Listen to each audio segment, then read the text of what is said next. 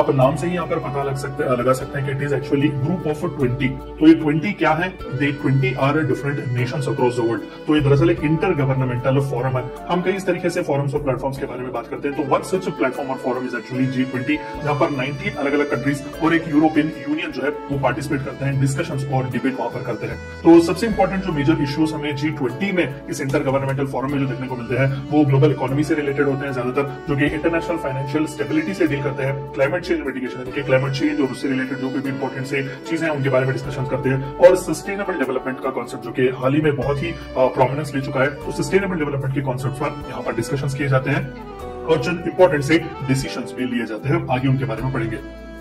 तो सबसे पहले जानने की कोशिश करते हैं कि दरअसल ये ग्रुपिंग की ज़रूरत क्या पड़ गई थी। हम कई रीजनल ग्रुपिंग्स की भी बातें करते हैं, हम कई इंटरनेशनल इंस्टीट्यूशन की भी बात करते हैं तो जी ट्वेंटी की ज़रूरत हमें कब महसूस हुई?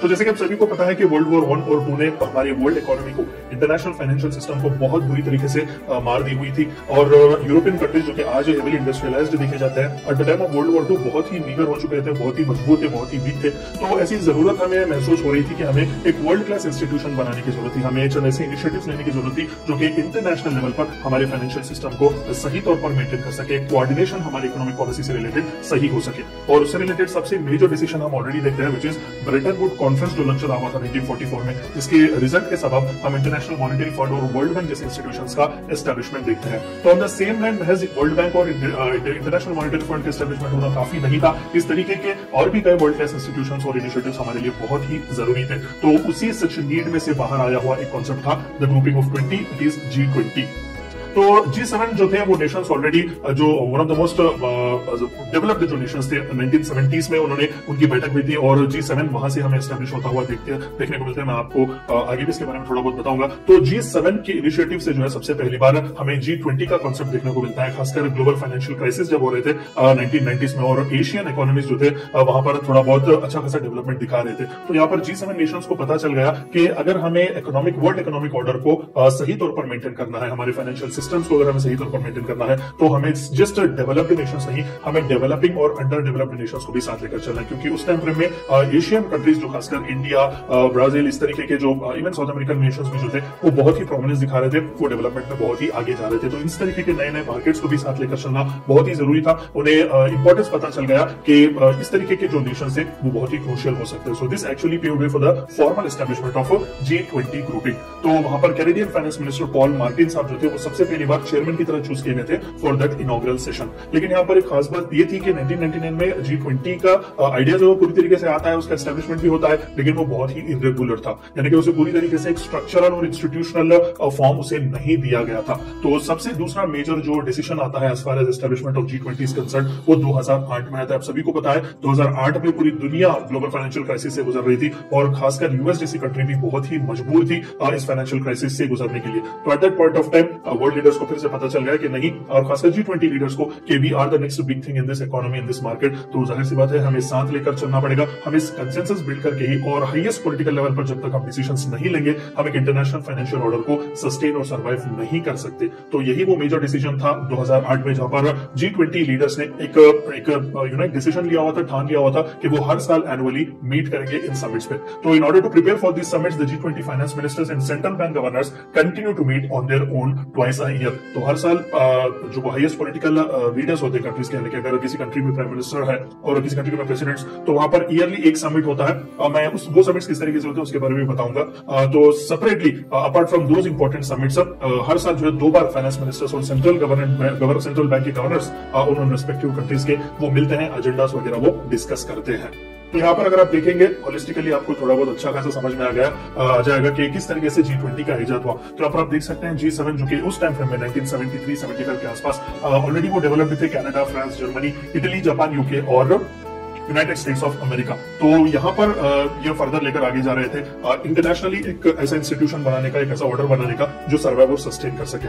और 1997 में रशिया को भी इसमें इंक्लूड किया गया था, और इसे जी एट का ग्रुपिंग दिया हुआ था, और फाइनली 1999 में हमें जी ट्वेंटी का ग्रुपिंग देखने को मिलता है। तो आप यहाँ पर देख सकते हैं, इन सभी कंट्रीज़ को कलेक्टिवली जी ट्वेंटी का मेंबर कहा जाता है। तो apart from all these G seven और G eight nation Argentina Australia Brazil China European Union India Indonesia Mexico Saudi Arabia South Africa South Korea and Turkey are actually actually the G twenty members तो European Union का भी representation हमें यहाँ पर देखने को मिलता है इसीलिए 19 countries plus one European Union इन सभी को जी ट्वेंटी का ग्रुपिंग कहा जाता है। तो there are few permanent guest invitees भी जिन्हें रेगुलरली इसके समिट्स में बुलाया जाता है। क्योंकि यहाँ पर भी रिप्रेजेंटेशन बहुत ही ज़रूरी है तो यहाँ पर आप देख सकते हैं African Union Asia one of the most crucial one again South East Asia में। तो उन्हें भी यहाँ पर as a permanent guest invitee बुलाया जाता है। Financial Stability Board Food and Agriculture Organization ILO IMF और खासकर स्पेन की खास बात है स्पेन इकलौता ऐसा कंट्री है, जो परमानेंट गेस्ट इन्वाइटी की जी ट्वेंटी के समिट्स को हाजिर होता है, वहाँ पर रिप्रेजेंटेशन देता है। तो बाकी के भी आप देख सकते हैं New Partnership for African Development Organization for Economic Cooperation and Development United Nations World Bank Group W और वर्ल्ड ट्रेड ऑर्गेनाइजेशन को भी यहाँ पर परमानेंट गेस्ट इन्वाइटीज की तरह बुलाया जाता है। तो यहाँ पर आप देख सकते हैं कि कितना क्रूशियल जी ट्वेंटी इनफॉर्मल या फिर जी ट्वेंटी ये इंटर गवर्नमेंटल फोरम है। इसका सिग्निफिकेंस क्या है? अच्छी बात है। सर तो हमें इस तरीके के क्या बाकी के भी कंट्रीज़ या फिर इस तरीके के ग्रुपिंग्स नहीं है क्या? एशियान भी है सार्क के भी बारे में हमने बात किया। ऐसे कई हैं तो इसका सिग्निफिकेंस क्या है? जी ट्वेंटी किस लिए एक प्रोमिनेंट प्लेस रखता है? तो जी ट्वेंटी बहुत ही स्ट्रेटेजिक रोल प्ले करता है, खासकर हमारे ग्लोबल इकोनॉमिक ग्रोथ और प्रॉस्पेरिटी को इंश्योर करने में सिक्योर हमारे फ्यूचर बनाने में, खासकर as far as our economic strength is concern क्योंकि यहाँ पर आप आंकड़े अगर देखें तो जी ट्वेंटी मेंबर्स जो जितने भी nineteen countries plus one European Union है, वो सभी मिलाकर sixty percent of the world population को रिप्रेजेंट करते हैं 80 percent of the global GDP को रिप्रेजेंट करते हैं और 75 परसेंट ऑफ़ ग्लोबल एक्सपोर्ट्स को वो इकलौते रिप्रेजेंट करते हैं। तो आप देख सकते हैं कि किस लिए जी ट्वेंटी ग्रुपिंग इतना सिग्निफिकेंट है और पूरी दुनिया जो है वो रुकती है देखने के लिए कि जी ट्वेंटी का मीटिंग क्या चल रहा है और वहाँ पर आउटकम क्या था एजेंडा क्या था डिस्कशन क्या थे। क्योंकि virtually two thirds of the world का कहीं ना कहीं हम देख सकते हैं इंपॉर्टेंट जो पॉपुलेशन का रिप्रेजेंटेशन हो ग्लोबल जीडीपी का हो या फिर ग्लोबल एक्सपोर्ट्स का हो, वो हमें इन जी ट्वेंटी नेशन से ही देखने को मिलता है।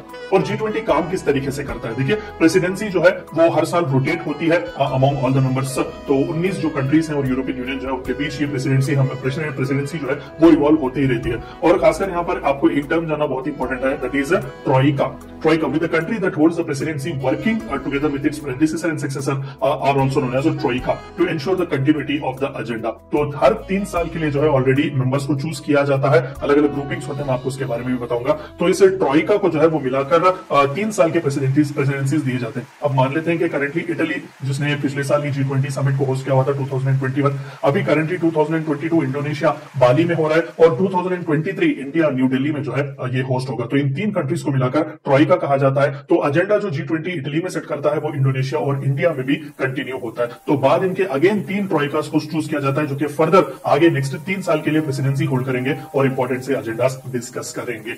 और जी ट्वेंटी का कोई भी परमानेंट सेक्रेटेरिएट नहीं है। हम साथ की बात करते हैं एशियान की बात करते हैं। इन सभी के हेडक्वार्टर्स कहीं ना कहीं होते हैं सेक्रेटेरिएट्स होते हैं। यहाँ पर परमानेंट सेक्रेटेरिएट नहीं होता। इसीलिए इसे बहुत ही यूनिक और डायनामिक माना जाता है कि जिस कंट्री में जो डिस्कशन होता है पर जिस कंट्री ने होस्ट किया हुआ होता है, वहाँ पर नया सा सेक्रेटेरिएट बनाया जाता है। क्योंकि जहाँ पर वो एजेंडा जो डिस्कशन किए गए हैं, वो उसी कंट्री से ही इनिशिएट किए जाते हैं वहीं से they make sure that they all are fulfilled agenda and the work coordination is completely by that G20 leaders personal representatives known as a sherpas तो हर कंट्री अपने अपने रिप्रेजेंटेटिव्स को भेजती है चूज़ करके। तो इंडिया ने अपने शेरपा को जो है पीयूष गोयल साहब को चुनकर भेजा हुआ था। And together with finance ministers and central bank governors तो ये तीनों पोजिशन बहुत ही क्रूशियल है। रिमेंबर एक तो शेरपा जो कि रिप्रेजेंट करते हैं उस कंट्री को ठीक है? वहाँ पर पर्सनल रिप्रेजेंटेटिव उस जी ट्वेंटी लीडर्स के, के मान लेते हैं कि इंडिया इंडिया में तो प्राइम मिनिस्टर नरेंद्र मोदी जी है। तो उन्होंने अपना रिप्रेजेंट देने के लिए कहीं ना कहीं पीयूष गोयल साहब को भेजा हुआ है। And apart from that finance minister Nirmala Sitharaman ji और सेंट्रल बैंक गवर्नर हमारे यहाँ तो आरबीआई है सेंट्रल बैंक तो शक्तिकांत दास साहब तो इनके तीनों बहुत ही क्रूशल होते हैं इस जी ट्वेंटी के वर्क से लिए। तो इसी तरीके से 19 कंट्रीज़ और यूरोपियन यूनियन भी अपने इस तरीके के रिप्रेजेंटेशन भेजता है। और प्रेसिडेंसी का सिलेक्शन कैसा होता है? अभी हमने देखा अच्छी बात है ट्रॉइका है, हर तीन साल एजेंडा चेंज होते हैं कंटिन्यूटी के लिए भी अच्छी बात है, लेकिन सिलेक्ट किस तरीके से होते हैं? तो 19 कंट्रीज़ जो पूरे हैं ना, उन सभी को पाँच अलग अलग ग्रुपिंग्स में डिवाइड किया गया है। ऑफकोर्स यूरोपियन यूनियन जो है, वो रिप्रेजेंटेशन ऑफ़ सेपरेट कंट्रीज़ है तो उसे किसी ग्रुपिंग में नहीं रखा गया है। तो each having no more than four countries the presidency rotates between each group every year the G twenty selects a country from another group to be president तो यहाँ पर आप देख सकते हैं, पाँच अलग अलग ग्रुपिंग्स अलग अलग रीजन को रिप्रेजेंट करते हुए आपको देखे जाएँगे। तो हर ग्रुप में से अलग अलग ग्रुप में से एक एक कैंडिडेट को पिक किया जाता है ताकि वो कुमुलेटिवली एक साल के बाद, एक साल के बाद प्रेसिडेंसी चूज़ की जाए। तो आप देख सकते हैं इंडिया जो है वो ग्रुप टू का हिस्सा है। तो इस तरीके से पाँच अलग अलग ग्रुपिंग्स में से कंट्रीज़ में से चुने जाते हैं।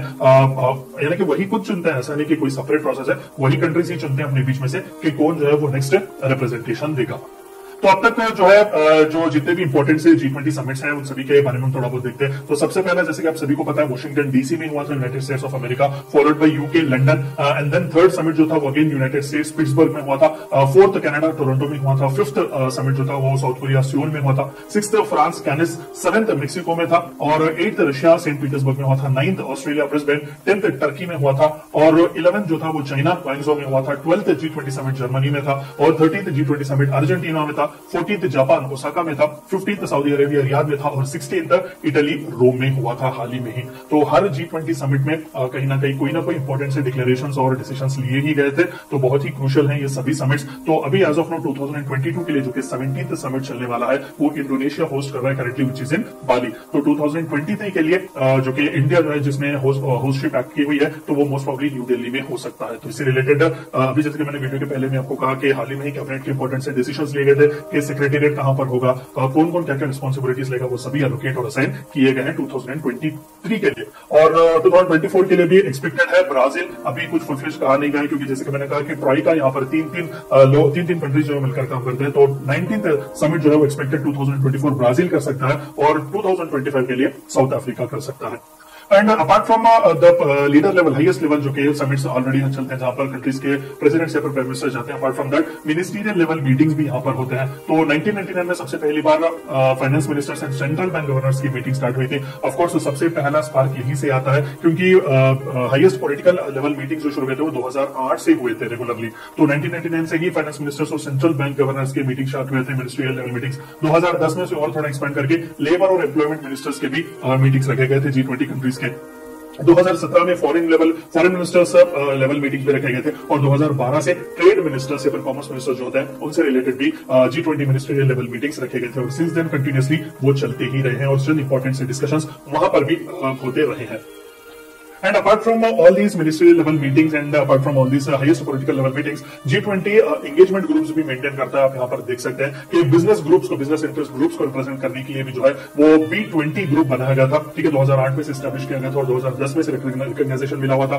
तो लेबर से रिलेटेड भी ट्रेड यूनियंस और अदर एम्प्लॉइज रिप्रेजेंटेटिव यानी कि यहाँ पर इन ट्वेंटी कंट्रीज़ या फिर इन ट्वेंटी नाइनटीन कंट्रीज़ और यूरोपियन यूनियन के जो रिप्रेजेंटेटिव हैं बिज़नेस के वो वहाँ पर इंगेजमेंट ग्रुप्स की तरह वहाँ पर आते हैं। सिमिलरली यहाँ पर भी सेशन और समिट चलते हैं। तो यहाँ पर आप देख सकते हैं एल ट्वेंटी जो था वो 2008 में फाउंड किया गया था और उसे रिकॉग्नाइजेशन 2011 में मिला था। C twenty that is civil twenty civil society organization जो एनजीओ होते हैं ट्वेंटी कंट्रीज़ में, उनके लिए भी एक फोरम बनाया गया था, या फिर एक एंगेजमेंट ग्रुप जो कि 2013 में इसे रिकॉग्नाइजेशन मिला हुआ था। यूथ के रिप्रेजेंटेटिव के लिए भी वही ट्वेंटी एंगेजमेंट ग्रुप बनाया गया था। थिंक टैंक्स जो ग्लोबल थिंक टैंक्स होते हैं, खासकर हमारी जी ट्वेंटी कंट्रीज़ के, उनके लिए भी एक एंगेजमेंट ग्रुप बनाया गया था। वुमेन खासकर वुमेन के रिप्रेजेंटेशन के लिए वुमेन राइट्स ऑर्गेनाइजेशन के लिए भी जो है टू में W twenty engagement group establish किया गया था। S twenty for science and research representative and finally U twenty for urban urban representation जो कि मेयर्स और गवर्नर्स होते हैं मेजर अर्बन सिटीज़ के जी ट्वेंटी में जितने भी मेजर बड़े बड़े अर्बन सिटीज़ हैं, उन सभी के गवर्नर्स और मेयर्स के रिप्रेजेंटेशन के लिए, वहाँ पर एंगेजमेंट के लिए जी ट्वेंटी एंगेजमेंट ग्रुप्स बनाए गए। तो आप देख सकते हैं कि किस लिए जी ट्वेंटी इतना सिग्निफिकेंट माना जाता है। और फिर हम एक बार देखते हैं कि इसका सिग्निफिकेंस क्या है किस किस तरीके से ये काम करने की कोशिश करता है क्यों ये सबसे हटकर है। Strengthening financial regulation of course seventy five percent global exports हम देख सकते हैं। अच्छा खासा जीडीपी का रिप्रेजेंटेशन दुनिया का यहाँ पर देते, देखते, देखने को हमें मिलता है। तो फाइनेंशियल रेगुलेशन रेगुलेशन को ज़्यादा से ज़्यादा हम स्ट्रेंथन कर सकते हैं इनकी मदद से। Coordinated fiscal and monetary stimulus मैंने आपको कई बार कहा कि फ़िज़िकल जब बोर्ड है it is related with finance finance ministry और मॉनिटरी जब बोर्ड है तो it is related with central bank और आरबीआई तो यहाँ पर आप देख सकते हैं कि कंट्री में भी इंडिविजुअल कंट्री में भी जो टैंडम होता है जो फ़िज़िकल फाइनेंस मिनिस्ट्री और जो उसकी सेंट्रल बैंक के बीच, वो भी कोऑर्डिनेट हो सही तौर पर उसका स्टिमुलस भी आगे बढ़ता रहे। क्योंकि यहाँ पर जो मेजर डिसीज़न लिए जाते हैं, वो इंडिविजुअल लेवल पर कंट्रीज़ पर कंट्रीज़ में ही तो उन्हें फुलफिल किया जाता है। और सबसे अच्छी बात जी ट्वेंटी की यह है कि फ्लेक्सिबल है और इंक्लूसिव है। नो डाउट हर साल प्रेसिडेंसी अलग अलग कंट्रीज़ के पास जाती है। हर तीन साल में एक बार एजेंडा चेंज किए जाते हैं तो बहुत अच्छी फ्लेक्सिबिलिटी और सभी का इंक्लूसिव भी इंक्लूसिवनेस भी हमें यहाँ पर देखने को मिलता है। क्योंकि जिस, जो कंट्री होस्ट करता है, वहीं पर सेक्रेटेरिएट बनाया जाता है और वहीं पर से जो इंपॉर्टेंट डिसीज़न वहाँ पर लिए गए वहीं से उसका काम शुरू होता है। लेंडिंग में भी बहुत ही ज़बरदस्त इंक्रीज हुआ है, क्योंकि सबसे इंपॉर्टेंट टारगेट जो जी ट्वेंटी के कंट्रीज़ ने रखा हुआ था, वो इंटरनेशनल फाइनेंशियल इंस्टीट्यूशन को रिस्ट्रक्चर ही करना था यहाँ पर। आप देख सकते हैं रिफॉर्म्स भी लाए गए थे आईएमएफ वर्ल्ड बैंक जैसे इंपॉर्टेंट इंस्टीट्यूशन में भी। डेवलपिंग कंट्रीज़ को भी बहुत ही ज़बरदस्त सा स्कोप मिला हुआ था यहाँ पर लेंडिंग्स वगैरह के लिए भी, ताकि वो भी आगे बढ़ सके। ट्रेड फेसिलिटेशन अग्रीमेंट्स कई साइन किए गए क्योंकि जी ट्वेंटी कंट्रीज़ जब समिट्स में मिलते हैं तो वहाँ पर हम देख सकते हैं इंडिविजुअल कंट्रीज़ भी एक दूसरे के साथ ट्रेड फेसिलिटेशन अग्रीमेंट्स भी साइन कर सकते हैं। तो ओवरऑल ट्रेड और इकोनॉमिक इन्फ्लेक्स भी बहुत ज़बरदस्त सा होता है। And the one more important thing is it is too big to fail अभी हमने जितने भी आंकड़े ऊपर देखे हुए थे 60 percent of the population represent करता है। इम्पोर्ट्स और एक्सपोर्ट्स इसके किस तरीके से तो ये बहुत ही बड़ा है फेल होने के लिए। यानी कि that very hugeness itself is more than enough कि ये रेसिलियंट एक ग्लोबल प्लेटफॉर्म है या फिर एक रेसिलियंट इंटर गवर्नमेंटल ऑर्गेनाइजेशन है कहने के लिए। और चंद इंपॉर्टेंट से इश्यूज़ जो अब तक जी ट्वेंटी ने एड्रेस किए हुए थे फाइनेंशियल मार्केट से रिलेटेड चंद इंपॉर्टेंट से डिसीज़न लिए गए थे टैक्स और फ़िज़िकल पॉलिसी से रिलेटेड भी इंपॉर्टेंट डिसीज़न लिए गए थे trade agriculture employment energy corruption women empowerment agenda twenty thirty sustainable developmental goals जिन्हें हम कहते हैं क्लाइमेट चेंज ग्लोबल हेल्थ और एंटी टेररिज्म पर भी मेजर इश्यूज़ जो थे उन सभी के बारे में जी ट्वेंटी के अलग अलग समिट्स में हमने डिस्कशन देखे हुए थे। और सिंस कोविड तो ग्लोबल हेल्थ तो बहुत ही इंपॉर्टेंट सा रोल प्ले कर रहा है। और इंडिया जो कि 2023 का होस्ट होने वाला है तो कौन से कौन से प्रायोरिटी के एरियाज़ हम देख सकते हैं जो कि इंडिया ने ऑलरेडी डिसाइड किया यहाँ पर इंडिया पर फोकस ज़रूर कर सकता है। टैक्स एवेशन से रिलेटेड इश्यूज़ हम हाईलाइट यहाँ पर कर सकते हैं। एक कंट्री से दूसरे कंट्रीज़ में टैक्स एवेशन बहुत ही हमें ज़्यादा देखने को मिलता है। फाइट अगेंस्ट करप्शन करप्शन के खिलाफ भी हम आवाज़ उठा सकते हैं। और तीसरा, सबसे इंपॉर्टेंट जो कि हर जगह पर since prime minister Modi ji has come इन्होंने बहुत ही कोशिश की हुई है ग्लोबल प्लेटफॉर्म पर इस इशू को लाने की। Risk terror funding and state sponsor terrorism क्योंकि इंडिया खुद प्रॉब्लम फेस कर चुका है इससे तो ये भी हमारे लिए एक अच्छा कॉन्सेप्ट हो सकता है यहाँ पर हाईलाइट करने के लिए करने के लिए। Cutting the cost of remittances of course one of the most and one of the most major migrants जो हमें देखने को मिलता है। ऑफ़ कोर्स ये कहावत भी है कि पूरी दुनिया में आपको हर कोने में कहीं ना कहीं एक चाइनीज़ और एक इंडियन देखने को मिलेंगे। तो ज़ाहिर सी बात है कि ग्लोबल रेमिटेंस से रिलेटेड भी हम थोड़ा बहुत कॉस्ट करवा कट करवा सकते हैं। और फार्मास्यूटिकल इंडस्ट्री भी हमारी टैप करने का यहाँ पर बहुत ही सुनहरा मौका है। हमें कई ड्रग्स पर हम मार्केट एक्सेस के लिए भी बात कर सकते हैं। Reforms in international institution of course ये तो एक्टिवली ऑलरेडी चल रहा है। लेकिन फिर भी हम ब्रिक्स का भी हिस्सा है तो वहाँ पर न्यू डेवलपमेंट बैंक हम देख सकते हैं। तो इस तरीके से नए नए नए नए बैंकिंग फाइनेंशियल इंस्टीट्यूशन और ऑलरेडी जो इंटरनेशनल इंस्टीट्यूशन चल रहे हैं, उन पर भी हम रिफॉर्म्स लाने की बात कर सकते हैं। और सबसे इंपॉर्टेंट सी चीज़ real action on climate change तो जितने भी कॉन्फ्रेंस ऑफ़ पार्टीज़ चलते हैं यूएनएफसीसीसी के, वहाँ पर बड़ी बड़ी प्रोमिस ज़रूर किए जाते हैं, लेकिन रियल एक्शन वहाँ पर नहीं होता। तो इंडिया ने भी ऑफकोर्स हाल ही में जो कॉन्फ्रेंस ऑफ़ पार्टीज़ 26 ग्लासगो में हुआ था, वहाँ पर प्राइम मिनिस्टर मोदी जी ने पाँच लेक्चर्स दिए हुए थे तो हम इस तरीके के इश्यूज़ भी वहाँ पर हाईलाइट कर सकते हैं कि we don't need the talk we need the walk challenges क्या क्या है? ओवरऑल जी ट्वेंटी ग्रुपिंग में अगर हम बात कर सके नो एनफोर्समेंट मैकेनिज्म बिल्कुल। यहाँ पर हम डिस्कशंस तो ज़रूर चलाते हैं, लेकिन उसे एनफोर्स किस तरीके से करेंगे, ये मैकेनिज्म हमने अब तक नहीं बनाया जी ट्वेंटी में। नॉट लीगली बाइंडिंग आज के जमाने में जितने भी important groupings important intergovernmental forums platforms हम देखते हैं, सबसे बड़ा प्रॉब्लम जो वो फेस करते हैं is actually the voluntary nature of their agreements वहाँ पर अग्रीमेंट्स तो साइन किए जाते हैं बड़ी बड़ी बातें तो वहाँ पर की जाती है, लेकिन वो लीगली बाइंडिंग नहीं होती। यानी कि वो रिकमेंडेटरी नेचर पर होती है तो ये नहीं होना चाहिए। मोस्टली ग्लोबल हेल्थ को सिक्योर करना ऑफकोर्स पोस्ट कोविड तो सबसे बड़ा हर्डल अगर नॉट जस्ट जी ट्वेंटी दुनिया के uh, आगे अगर कुछ था तो वो ग्लोबल हेल्थ को सिक्योर करना था। रिफ्यूलिंग और fuelling economic recovery and of course post covid जो कि कंटिन्यूस लॉकडाउन वगैरह पड़ रहे थे तो इकोनॉमिक रिकवरी जैसे कि रिसिलियंट इकोनॉमी की हम बात करते हैं कि जितनी माल से बढ़ेगी उतना ही ज़्यादा उतना ही जल्दी वो बाउंस बैक करेगा। तो इस तरीके की इकोनॉमिक रिकवरी के बारे में क्या सोचेगा जी ट्वेंटी डिजिटल रेवोल्यूशन की हम बात करते हैं। ऑफकोर्स थोड़ा वेस्टर्न कंट्रीज़ में अच्छी बात है कि वहाँ पर इंटरनेट कनेक्शन हो या फिर डिजिटल लिटरेसी ज़्यादा हो, लेकिन जब हम ईस्टर्न हेमिस्फीयर की ज़्यादातर जब हम बात करते हैं, क्योंकि इस ग्रुपिंग में हम इंडिया सऊदी अरेबिया इस तरीके के कंट्रीज़ भी देखते हैं वहाँ पर डिजिटल रेवोल्यूशन हम कैसे लाएँगे? क्लाइमेट चेंज रिस्क सबसे बड़ा है ऑफ़ नाउ अभी हाल ही में भी इंटर गवर्नमेंटल पैनल और क्लाइमेट चेंज के रिपोर्ट भी आए हुए थे तो उससे किस तरीके से डील करेगा, ये one of the most important challenges है। इसके आगे प्लास्टिक से रिलेटेड भी हम मुहिम चला रहे हैं तो let us wait and watch और global framework for tax reform specifically जो कि अभी हमने देखा कि टैक्स एवेशन जैसी जैसे प्रॉब्लम भी हम फेस कर रहे हैं। तो ग्लोबल फ्रेमवर्क की बहुत ही ज़रूरत है टैक्स रिफॉर्म्स के लिए, जो यूनानिमसली ये सभी जी ट्वेंटी कंट्रीज़ एक्सेप्ट करेंगे और ये लीगली बाइंडिंग होनी चाहिए। तो वे अहेड क्या हो सकता है इसका? टिल नाउ अगर सच बताएँ तो जी ट्वेंटी जी ट्वेंटी में compare with other regional grouping other intergovernmental forums बहुत ही सही ट्रैक पर जा रहा है। कंसिस्टेंसी वो मेंटेन कर रहा है क्योंकि बाकी अभी सार्क के बारे में भी हमने एक वीडियो बनाया हुआ अगर आपने नहीं देखा तो आप एक बार अगर ज़रूर देखें। तो वहाँ पर भी हमने देखा कंसिस्टेंसी ही नहीं थी वहाँ पर। तो इस तरीके का काम जी ट्वेंटी में हमें नहीं देखने को मिल रहा है। कंसिस्टेंसी वो लोग मेंटेन कर रहे हैं और इंपॉर्टेंट से डिसीज़न ले रहे हैं। और इंपॉर्टेंट डिसीज़न ले भी रहे हैं even though they might not be legally binding लेकिन ज़्यादा से ज़्यादा उन्हें फॉलो करने की कोशिश भी कर रहे हैं। दूसरा सबसे मोर इंपॉर्टेंट वे है जो होगा study of changing demand for skills of course skills have been one of the most important aspect for discussion and debate India जैसा एक कंट्री जो कि second top most populated country है, लेकिन वहाँ पर स्किल के लेवल्स बहुत ही कम है। लगभग 40 से 45 परसेंट के आसपास ही है, जिनके पास एडिक्वेट स्किल है एम्प्लॉयमेंट के लिए। तो जी ट्वेंटी नेशन किस तरीके से इस पर काम करेगा mostly this can be the next way ahead और टेक्नोलॉजिकल इनोवेशन पर थोड़ा बहुत फोकस करेंगे तो बहुत ही अच्छा हो सकता है। इंडस्ट्री uh, में इनोवेशन के लिए खासकर जो है पॉलिसीज़ वो बना सकते हैं। और इंटेलेक्चुअल प्रॉपर्टी राइट से रिलेटेड भी इंपॉर्टेंट से डिस्कशन करेंगे तो बहुत ही अच्छा होगा। uh, और रीडिफाइन करने की हमें ज़रूरत है कि अरीना क्या क्या होंगे कॉपरेशन के। ऑफकोर्स हमने देखा कि अंडर द अर्थ जो कुछ भी मिल रहा है वो सभी के बारे में डिस्कस कर रहे हैं। हाँ माना कि जी ट्वेंटी एक फाइनेंस रिलेटेड एक टैक्सेशन रिलेटेड इस तरीके से इकोनॉमी से रिलेटेड है लेकिन यहाँ पर क्लाइमेट चेंज की भी हम बात कर रहे हैं। यहाँ पर हम ग्लोबल हेल्थ की भी, वगैरह की भी बात कर रहे हैं। तो रीडिफाइन करने की ज़रूरत है कि अरीनास क्या क्या होंगे कॉपरेशन के और किस तरीके से होंगे। और सबसे आखिर में, जो सबसे कंसोलिडेटेड एक वे अहेड जो जी ट्वेंटी के लिए जो देखने को मिलता है that is less talk and more action regularly वो मिल ज़रूर रहे हैं। एजेंडा सेट कर रहे हैं। रेगुलरली फाइनेंस मिनिस्टर्स वगैरह की भी मीटिंग हो रही है। लेकिन एक्शन कितना हुआ है उस पर लीगली बाइंडिंग एग्रीमेंट्स क्यों नहीं हो रहे हैं? तो ये थी चंद बातें। आपको जाननी थी ग्रुप ऑफ़ ट्वेंटी या फिर G twenty inter governmental grouping के बारे में। Good evening, everybody. I'm so happy and delighted to be here to join you for yet another one more session of G20 International. Yes, today we are going to talk about uh, agriculture and food safety.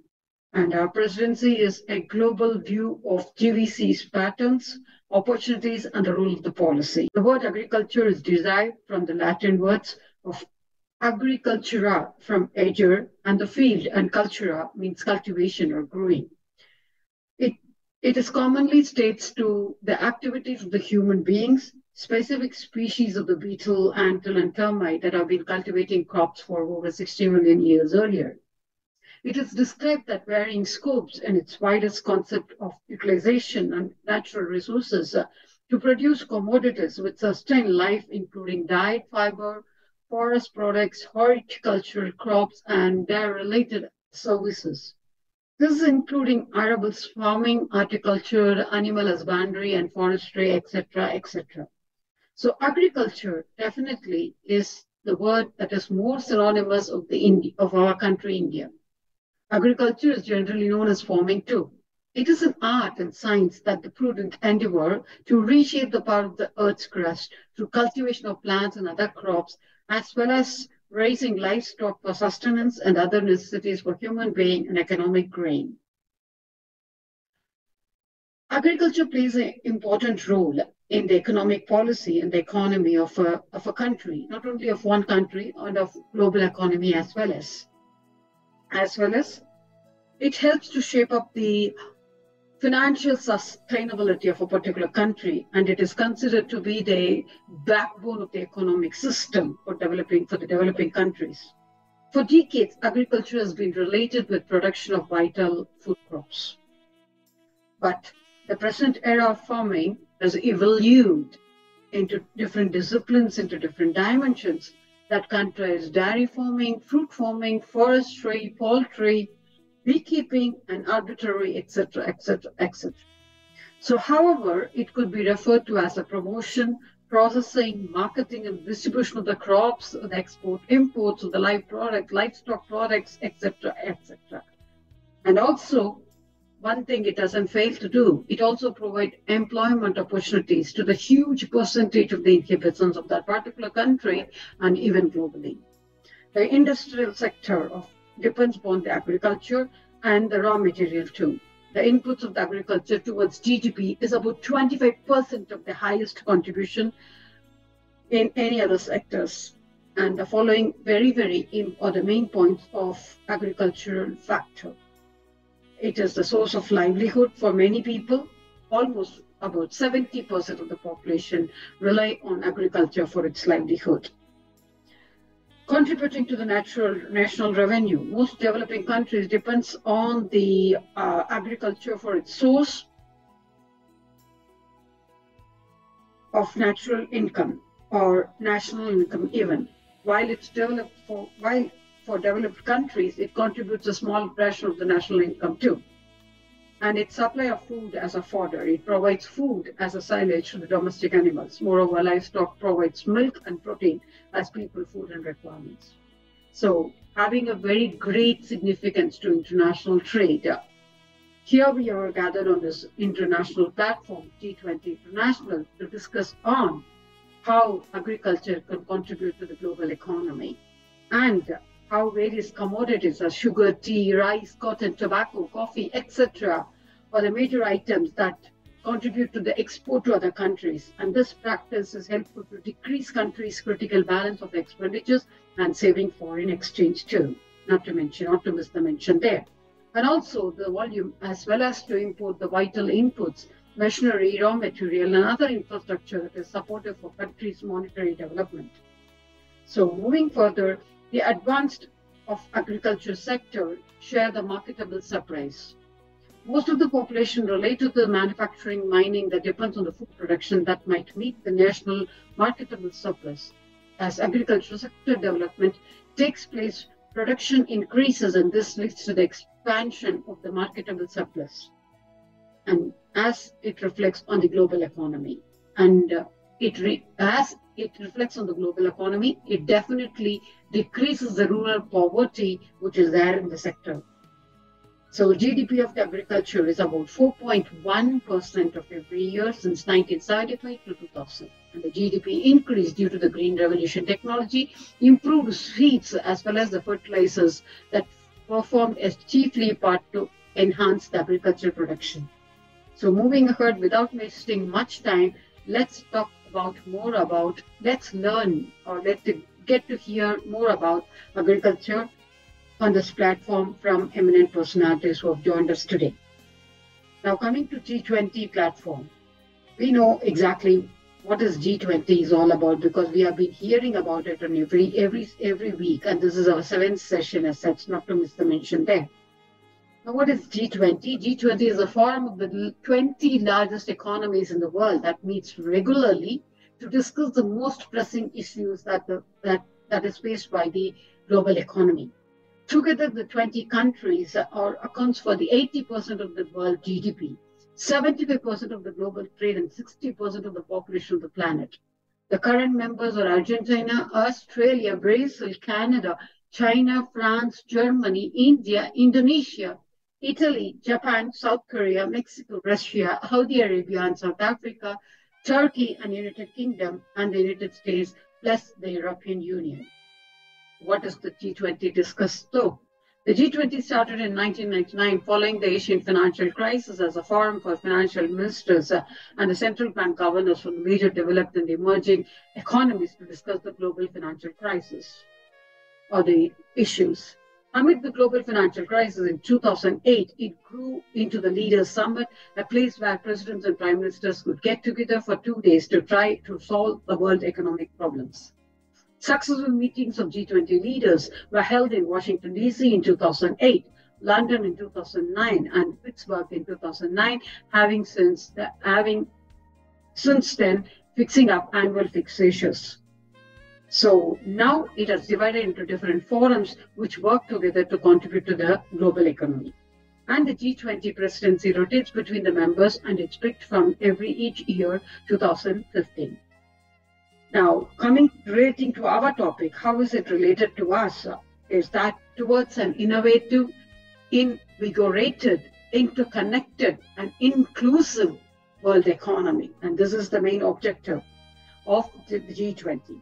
And uh, India being the one of the uh, 20 countries, India would have the privilege of holding the um, G20 presidency in the month of November, starting from last year, December to November 2023. That's December 2022 to December, November 2023.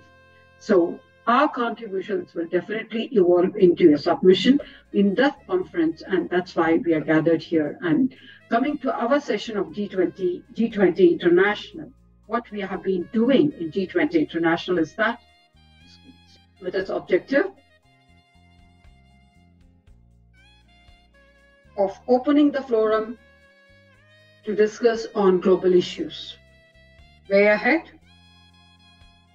we had created a planner of, uh, yes,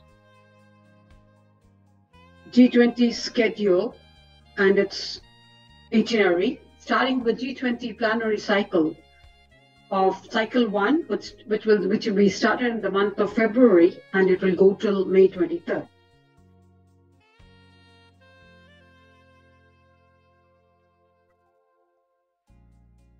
Our first session was on topic Education 360, where we discussed about inclusive, equitable relevant quality education and lifelong learning opportunities for all. So we covered most of the education topics with eminent personalities who contributed their inferences.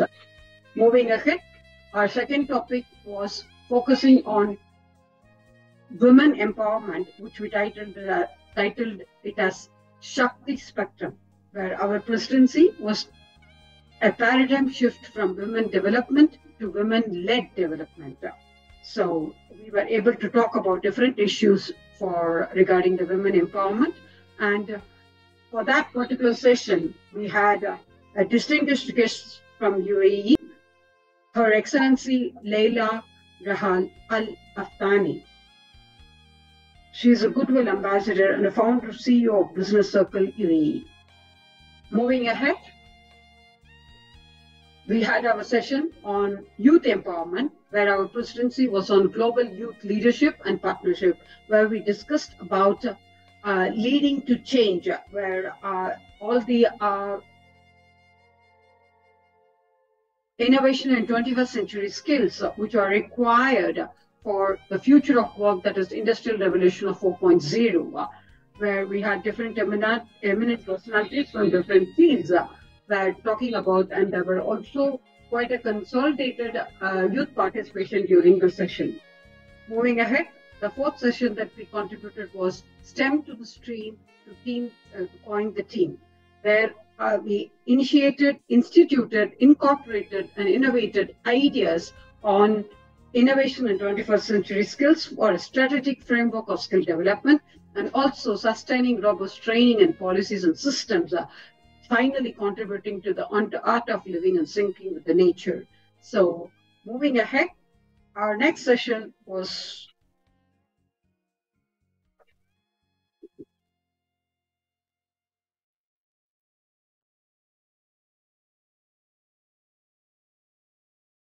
was on entrepreneurship and MSME, where we talked about the policies and strategies which are required for enabling workforce that would uh, modernize and strengthen the industrial units uh, to make it to the global economy. And the second last that session that we have, we were focused upon was energy resources and the sources for sustainability and employability, where our presidency talked about efficiency, and sustainable use of natural resources for three hours in our dialogue. Uh, for this session, we had a, a, very distinguished guest again from UAE, His Excellency Dr. Mohammed Saeed Al Kindi, the former Minister of Environment and Environment and Water representing from UAE. Along with him, we had engineer Alia Al Kendi, who was again contributing towards the betterment of the society.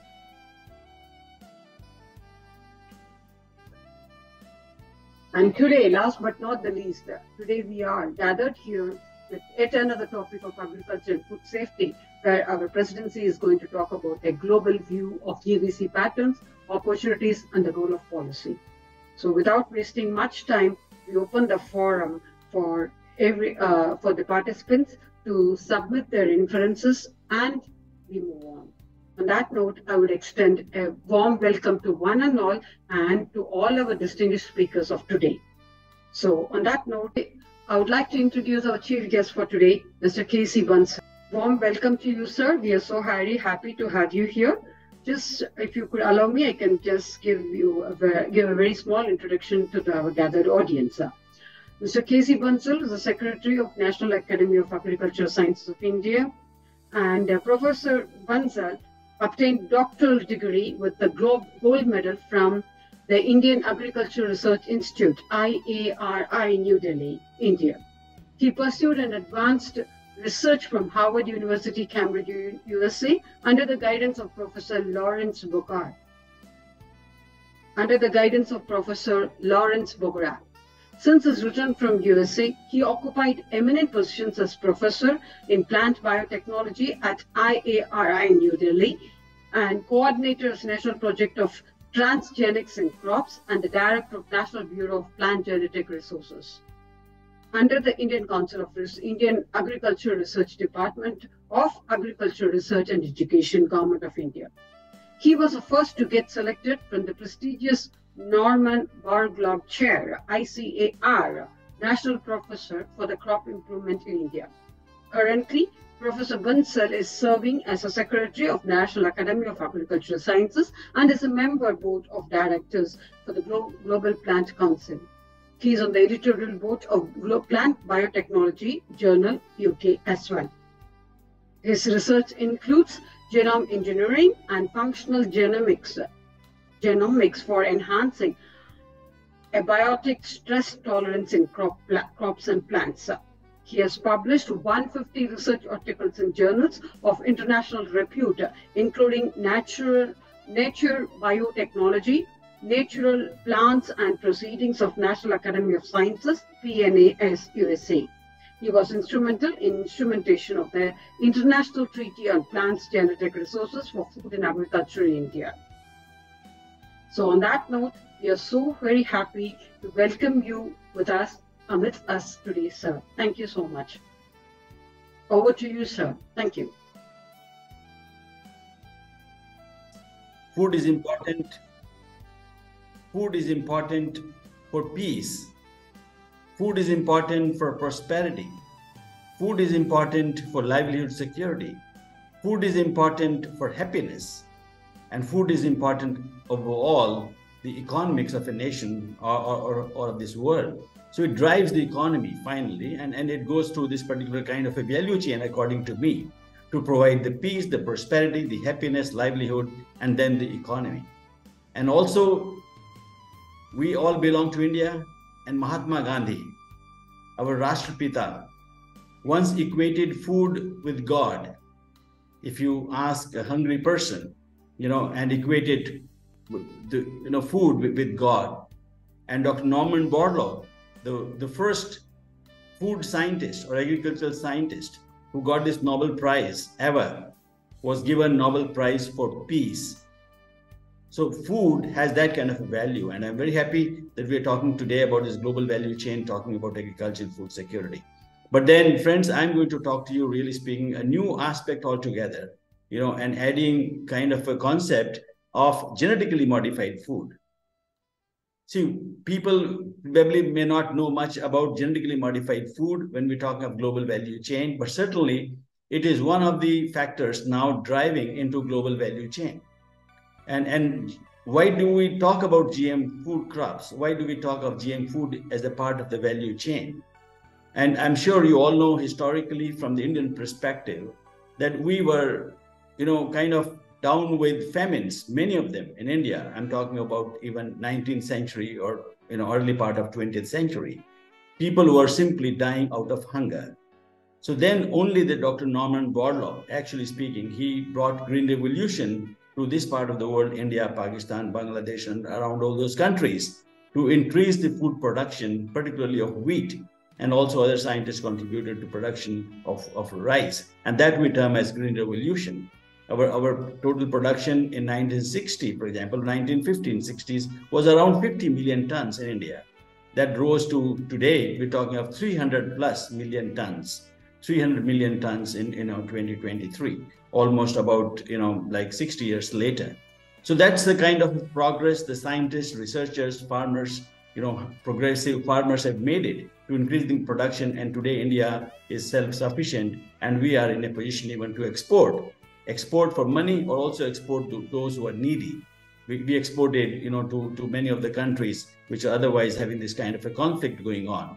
You know so we are doing pretty well that way but that was the story we were talking about it, you know, 1960s, 70s.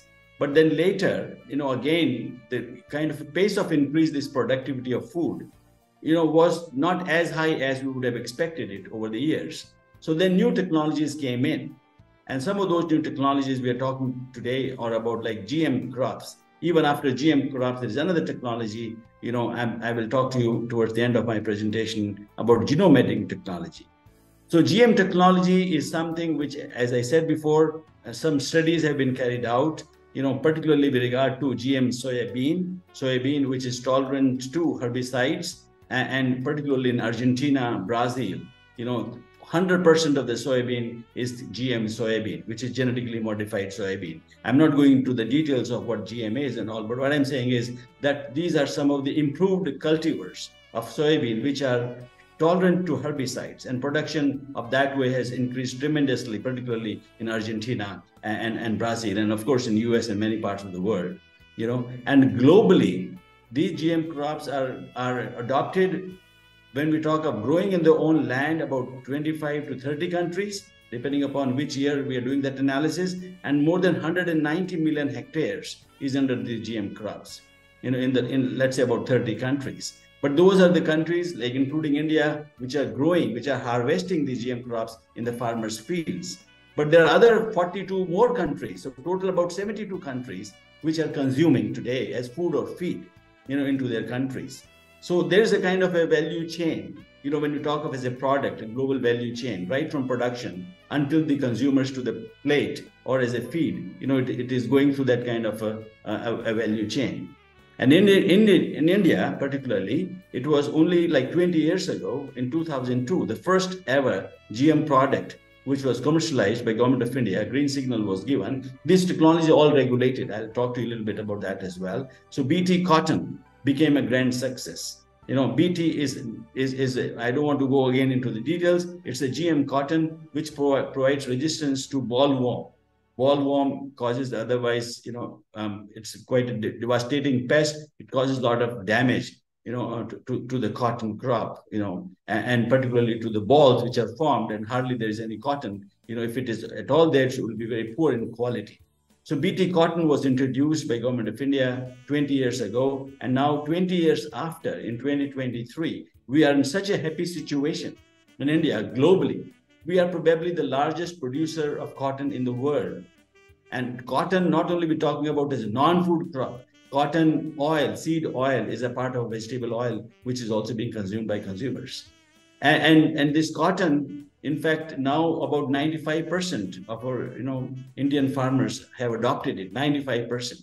It's grown on about 11.9 million hectares you know and the productivity has grown grown up to at least three times and international market share for India today is about 25%, which was only about 12% 20 years ago. So that you know the presence of India in the international market is doubled, and we, we are close to now China or US. You know, when we talk of international market, and also the bigger benefit in the value chain, we talk about the production system point of view, livelihood as you are talking about it. BT cotton alone has given a benefit of 68% economic benefit 68% to the farmers. And how it has given that kind of a benefit from two angles. One is that there is a reduction in the pesticide, which the farmers will always keep spraying to kill that particular pest. So there is a 22% reduction there. You know, there's less pesticide which is utilized to the level of 22%. And the production has increased production has increased to the level of 37%, and which has therefore resulted into this kind of a benefit, economic benefit to the farmers to the level of 68%. So these are actually some of the benefits, you know, particularly I'm talking of only BT cotton in India, and now we have GM mustard, genetically modified mustard hybrid, which has been only released, you know, last year, and and that's the second GM crop which has been released in India, and which is also um, a wonderful technology to increase the production of mustard along the value chain to 25 to 30 percent by increasing, you know, through the process we call it as hybrids, which are otherwise high yielding, and there are other benefits um, associated with you know these kind of technologies. I'm not going to talk about it, but again, along the global value chain, when you talk of introduction of these GM seeds, I'm sure probably you all know that we have Convention on Biological Diversity, United Nations, and under that Convention on Biological Diversity, all diversity around the world needs to be sustained, need to be preserved, need to be sustainably utilized. And if it is utilized, benefit sharing need to be shared with, with, with the you know farmers. So here there is a protocol attached to the CBD, Cartagena Protocol on Biosafety. Actually, when we talk of the introduction of the GM seeds into, into the global value chain, then it is the regulation you know, which is being actually governed by all those national governments wherever these you know seeds are produced or, or they are they are they are you know there's a movement of seeds across the countries in the world. These are all governed by international laws, and Cartagena Protocol on biosafety is, is one of them. So that's one which is important that you know global value chain when we talk about it, these you know regulations we need to be kept in mind. And and the other regulation is that you know when from the point of origin where it is produced until the global chain we need to keep its traceability. Many of the nations are talking about it to keep that traceability or retractability, retractability of, of the GM crops. You know, and there is a kind of requirement of labeling at times, you know, along the value chain if you want to really know where it is at the moment. So these are some of the problematic, complex issues, you know, regulating these genetically modified crops when we talk of along the global value chain. But, but then again, there are other issues, unfortunately, that not all countries in the world are having harmonized regulations. Different countries, they have their different kinds of regulations. They're all on a case by case basis when we talk of these regulations of GM foods, you know, in different countries. Like India, we have only two crops today which have been given environmental signal, you know, to for commercialization is BT cotton and GM mustard. Whereas in US, there are about six to eight to 10 crops in many other countries, there are many other crops. As I mentioned, about 29 to 30 countries. There are about in, in, in one dozen crops which are otherwise commercialized for food and feed, you know, or, or for, or, you know, like GM soybean I mentioned to you about is a part of the chocolate industry in, in Europe. So there, there are benefits, but then I said this technology is heavily regulated. And, and this point of view is that we must try to understand those regulations when we talk of its, you know, kind of movement across the globe, you know, as, as a part of global value chain. But one thing I would like to just tell you, friends, towards the end of my this few more minutes presentation, that science is progressing quite a lot, you know, and, and through the sector of agriculture and producing more and more food, not only to meet our own requirements globally, it's important that we also drive economy, you know, particularly like country, India, where more than 50% of population depend on agriculture. They thrive on agriculture directly and indirectly. So we need to have such technologies which can provide more peace to the farmers in the sense that they will be able to save time for their family. The children will be educated in addition to the livelihood security. So globally now, only about two years ago, 2020, you know, a Nobel Prize was awarded. This was another Nobel Prize awarded to a technology we call it genome editing. We call it wherein just like GM crops, this is another technology which is better than GM crops in many ways. With when we talk of regulation, still there is regulation, but it's quite minimal. And also when you talk of global value chain, what's the role of smallholder farmers versus multinational companies? So multinational companies dominate when we talk of the movement of these GM crops over the world in case of you know GM crops, or GM food crops. But in case of genome editing, which is new technology, just two years ago I said a Nobel Prize awarded. Otherwise, the technology only about 10 years old. 2012, this technology was developed by two lady scientists who were awarded Nobel Prize, one from University of California and USA, another from, from France, who is otherwise working in Germany. And only 10 years ago, this technology took birth and is already making waves, not only in health not only in agriculture, but also in health sector, diagnostics, pharma, even for COVID diagnosis or, or vaccination.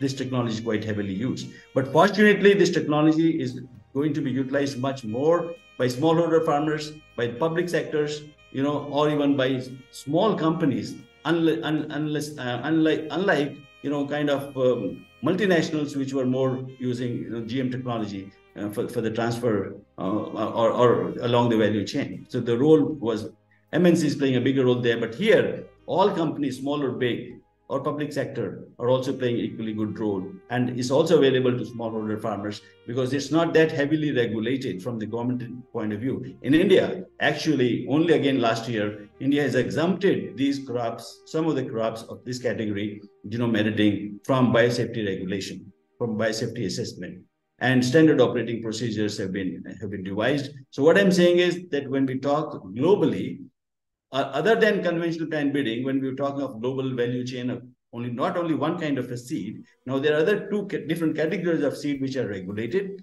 GM crops and now genome editing. But genome edit editing is like more back to conventional breeding, you know, bred crops. So there's less regulation. So I think that more accepted you know, by the public at large globally as compared to GM crops. While GM crops are also safe, 25 years, people have been utilizing it, consuming it, you know, throughout the world, and mostly in US, as you all know, GM papaya, GM apple, you know, they've been all consumed raw. And, and, and from biosafety angle, though some people raise questions, but they, it has been found for the last 25 years that GM crops are all safe. And they're a very important part of this global value chain and now genome editing. So with this, friends, I just wanted to introduce um, this particular new topic. I don't know how prepared you were to, to know about it and as I was not as much prepared to know something about global value chain, but I'm very happy. Thanks to Dr. Vidya, she, she you know introduced me this topic. I'm happy to learn about it. But on the other hand, this was another topic when, in which I can talk, and I have been contributing, you know, at the national, international level to whatever little extent. I thought I will introduce you to all this this topic because that's also coming up, and accordingly, we should gear up ourselves when we talk of participation in these G20 countries. And many of the G20 partners are already consuming, growing, you know, these GM crops in their own countries or accepting now genome editing as well as well as a tool to increase the production globally to talk about it. So with this, friends and Dr. Srividhya, thank you very much and uh, I'll be happy to and looking forward to listening to, to other presentations. And if there are any questions, I'll be very happy to answer those questions right now. Thank you again, all of you.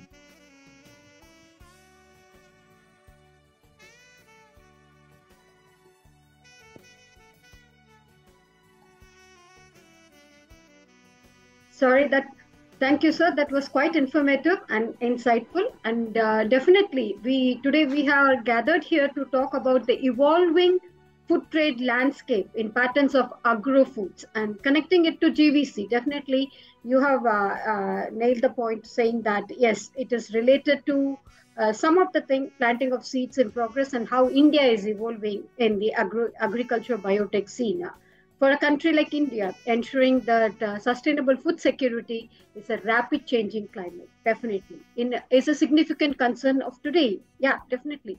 With a slow pace of uh, yield increase, and it's crucial to accelerate the genetic movement of crops, uh, improvement of crops for enhancing the food production and achieving the self-sufficiency well. We do accept that GM crops play a major role in it, and the rapid adoption of the science based technologies for crop improvement uh, and uh, gene, gene, gene, edited, gene editing. Gene edited crops also play a major role in that. And uh, well, ensuring the sustainable uh, food security in a rapid changing climate is a significant concern for today. That also to be uh, taken into. There were a couple of questions related to that as well we might take up the question of the session later.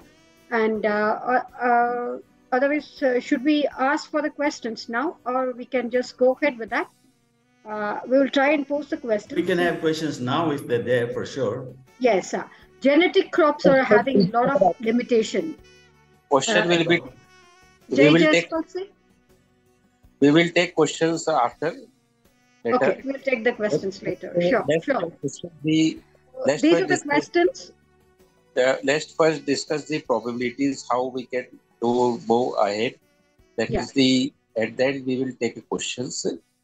So yes, uh, Dr. Uh, Mr. K.C. Bansal, uh, uh, that uh, you are uh, you have uh, mentioned so many things. So what is going on at present current and how what are the probabilities?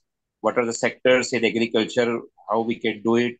As we have the many FPOs and uh, above uh, uh, 15,000 farmers are associated with our organization also, where that we are working uh, for the agricultures for millets also today, as this year is millets year. So, uh, uh, with respect to the integrated farming and how in a small land we can generate a multi-layer farming, similarly hydroponic farming, and uh, rooftop garden and how we can produce a maximum uh, amount of uh, crops and the vegetables with respect to the demand of the cities and metro cities. As again the corona is now emerging out so we have to uh, this uh, production of the fresh and good vegetables so that uh, because there are so at present again some mixtures of and we can say the chemical based and compound based vegetables are coming which is very harmful for our body So uh, organic and natural farmings and all Vedic Krishi. So on that uh, we are also working. And uh, as you know the patents and all, and similarly how the uh, new technologies can we can uh, uh, that is secured through IPR activities and also for the patents and grants and all we are also working for that for agriculture uh, for farmers and also associated with different types of industries who is working in the food grains and all how we can uh, export our uh, so, so many wheats and so many rices which are now damaged due to the rainfall and uh, due to the climate condition. So uh, that, that's all uh, the challenges and also some there are vegetables and crops so some at some place the, the huge we can say the production. And uh, in some place there is a lack at uh, at some place today the mangoes are reaching above 200 per kg and in some case where the uh, production cost is about 20 kg they are moving to uh, that is to sell for the 10 rupees per kg or 15 rupees kg so like that there is a difference in some this whatever you have talked also about the food supply chain so that is also the emerging issue that uh, we have to uh, work for the supply chain so that the such type of uh, differences will be overcome and we can do uh, better for the uh, uh, to supply and demand. So such we can do something jointly as you are in New Delhi, you know better how you are. We have to work and in this G20 agriculture is the main sectors. Thank you. Sure. Thank you. Thank you. Thank you very much, Dr. Salvia. Thank you very much for kind words. Thank you. Thank you, Vijay Kumar Salvia ji. Well, before we move on to the next speaker, I would like to register the questions which have come in and so that we will be able to take them up towards the end of the session. Kindly, I request the guests not to drop their numbers over there in the chat box. We will share your LinkedIn profile in the chat, chat box. And once they get connected, we can share the numbers on a personal basis. Thank you so much, sir. Thanks for considering that. Genital crops have. Talk about a, global value chain. Uh, one common example where uh, which I studied is uh, a smartphone in China. You know, a smartphone assembled in China includes a, graphic design from USA, a computer code from France, and a computer chip from Singapore, and then uh, you know uh, various other things are included and then uh, some heavy, some precious metals from Bolivia. All these things are there in the Chinese assembled uh, smartphone. But still, all the countries who are involved in this, they retain a part of the value in their own uh, country. You know, they also get profit and value out of the final sale of that product. Product is assembled in China, sold somewhere, for a value. Out of that value, a part of the value is retained by uh, USA, uh, France, Singapore, and Bolivia. Everybody, for their part, they are also getting this thing. This is what uh, you know the value chain is. You know, it's a cross-border network that brings a product or process uh, from conception to the market. You know, that's how it is. And or having a lot of limitations. These are questions. A question from Jay Jaspal Singh J. Genital, genital crops are having a lot of limitation. Climatic change is a major challenge. What is your say on grafting? But organic seeds, there's not another question, but organic seeds are killed and now to be bought every time by the farmers. It is controlled by corporators. So do we have solutions for that? And the third one is the effects of climatic change. I think this question will take up with the next speaker and it is more related to it. Well, thank you, Professor K.C. Bansalji. Thanks for uh, addressing on that and evolving food trade landscape patterns of agro-food GVCs. Thank you so much. It was very informative and insightful. It, Thank it, you. And uh, we would uh, request you to just stay on with the session if it is possible. And then we shall catch up towards the end of the session for the summary. Sure. Maybe I'll join towards the end, as you said, when we'll have more question and answers to be done. Sure. Thank you. Thank you. Thank you. Thank you. Thank you. Thank you. Thank you. Moving ahead, we have our next speaker for the day. I would like to present before you Mr. Durairaj Kupurangam. He has 50 years of work experience in agriculture in various fields of activity in 1968 onwards. And uh, uh, with the first three years in the Department of Agriculture in Tamil Nadu and Agriculture Extension Officer as an Agriculture Extension Officer, and 30 years in the marketing of agro agri inputs, of fertilizers, crop care inputs, micronutrients, and biological inputs of Rallis India Limited. And uh, he's uh, also worked as vice president of fertilizers at the time uh, in Rallis in 2001 and also with uh, certification of training and activities for uh, he has visited countries like Ethiopia, Guyana, and for project reports uh, for different projects. And also he has established Noble Agro Biotech Private Limited, a seed company in Bangalore. And presently he is as a president of International International Competence Center for Organic Agriculture, ICCOA, ICOA. Yes, I got it. Thank you, sir. Thank you so much. Thanks for that help. And um, uh, well, um, sir is going to address around about uh, different points that has been mentioned in our flyer. That's what uh, he was very particular about. And uh, without wasting much time, I would like to present before you Mr. Durairaj. Mr. Durairaj Kupurangam, sir. The floor is all yours. We are so very happy to have you. Thank you so much. Thank you.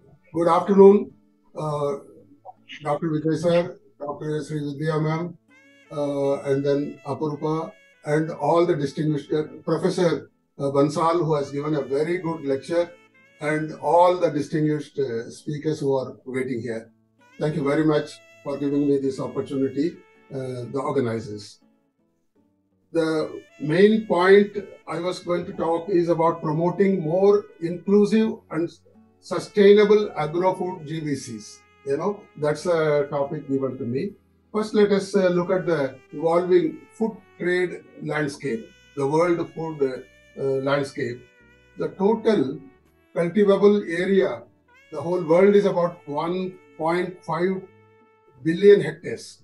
1.5 billion hectares, which is about one third of the land area of the earth. Uh, that is 1.5 billion hectares. In that, we are producing goods worth of food products worth of 7.7 trillion US dollars. That is being consumed by all the 8 billion population plus all the cattle which they are rearing and that's a way we have been uh, doing agriculture business. And then 45% of the 8 billion population is totally dependent on agricultural profession.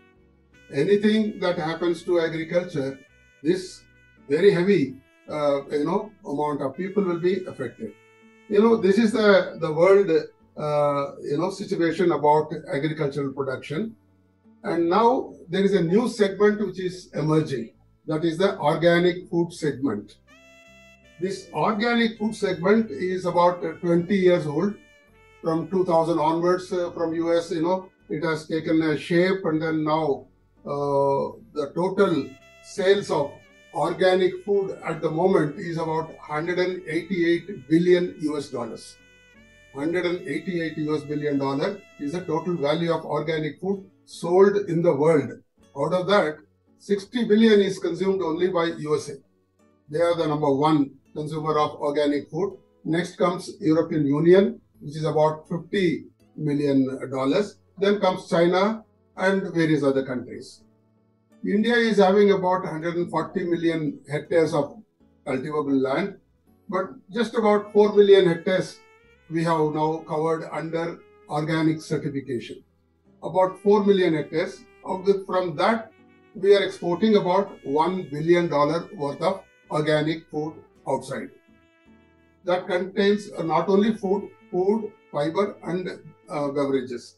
All put together, it's about $1 billion. Uh, out of the total $188 billion world trade, our contribution is just about a billion dollar.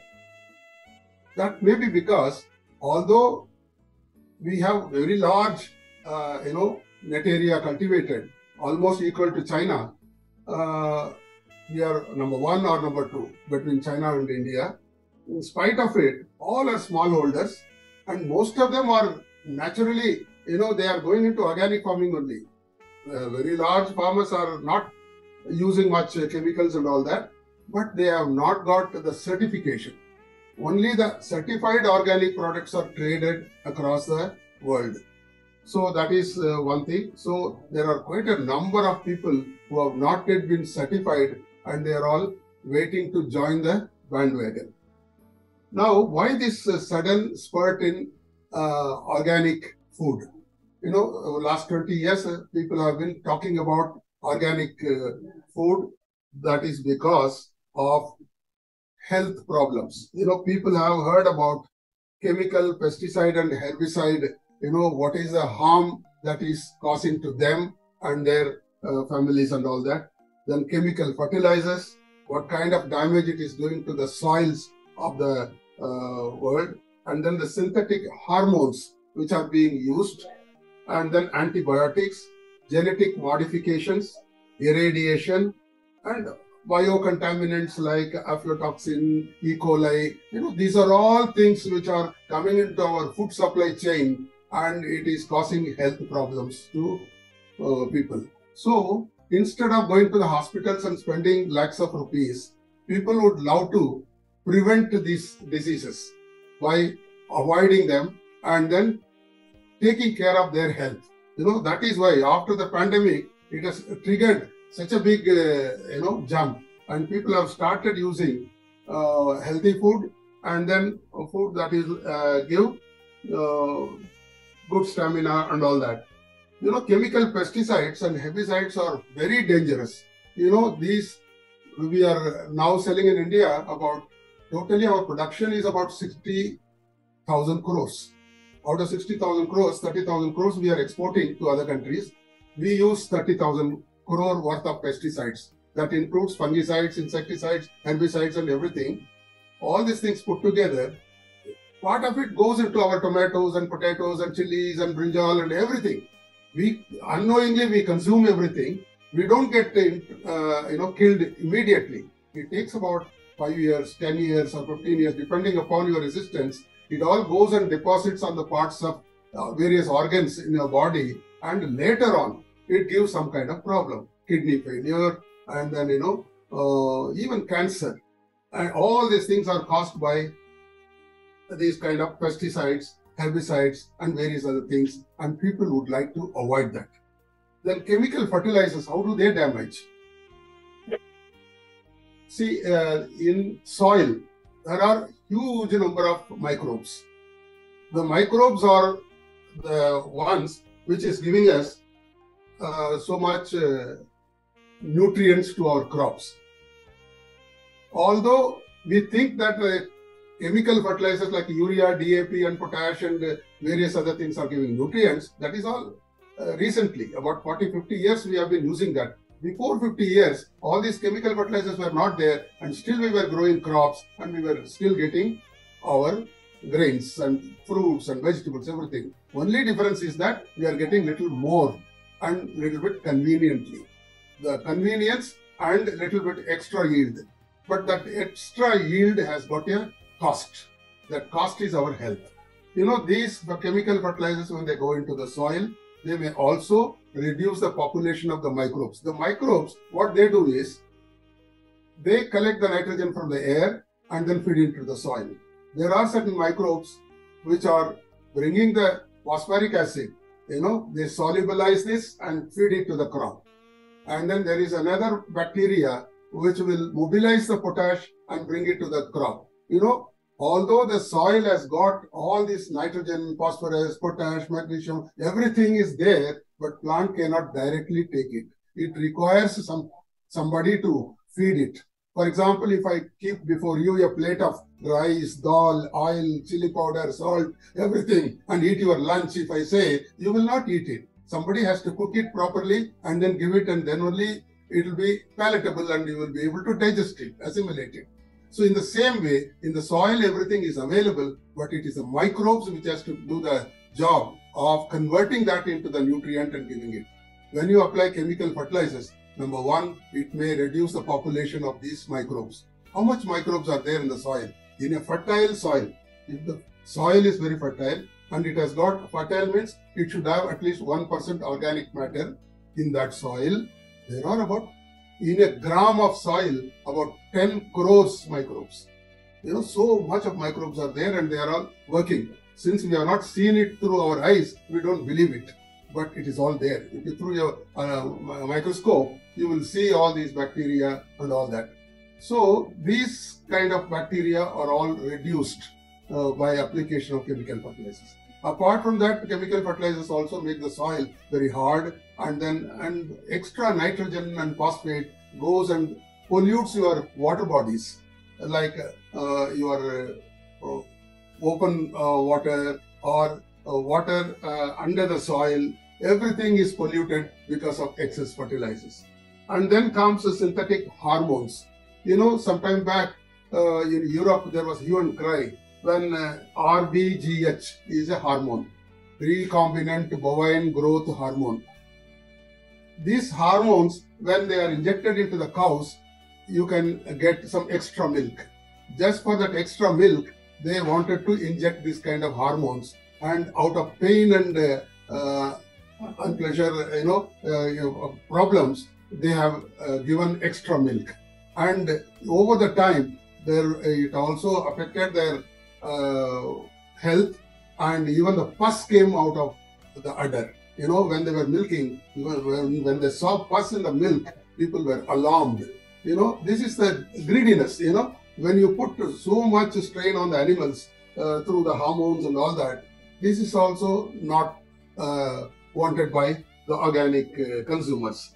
Antibiotic is another thing. You take chicken or egg or meat or whatever it is, uh, a lot of antibiotics is very widely used. For example, in our case, when we get sick, when we go to the doctor, he gives a uh, antibiotic pill or an injection or something like that when you get sick. But in the case of animals, it is a daily dose of antibiotics. As though as a growth promoter, they give it to all the chicken in their feed or in the water. Uh, every day they are fed. And when these things go into their system, the body, uh, you know, converts all these bacteria as resistant bacteria this is resistant to uh, antibiotics. These things, when you eat afterwards, your body also get the antibiotic resistant bacteria and all that. And your doctor, when he gets gives you a dose of antibiotic, doesn't work. You know, so these kind of dangers people want to avoid. That's why they wanted organic uh, thing. GMOs. Professor has uh, uh, said very nicely about the technological improvement about organic, sorry, uh, genetic modifications.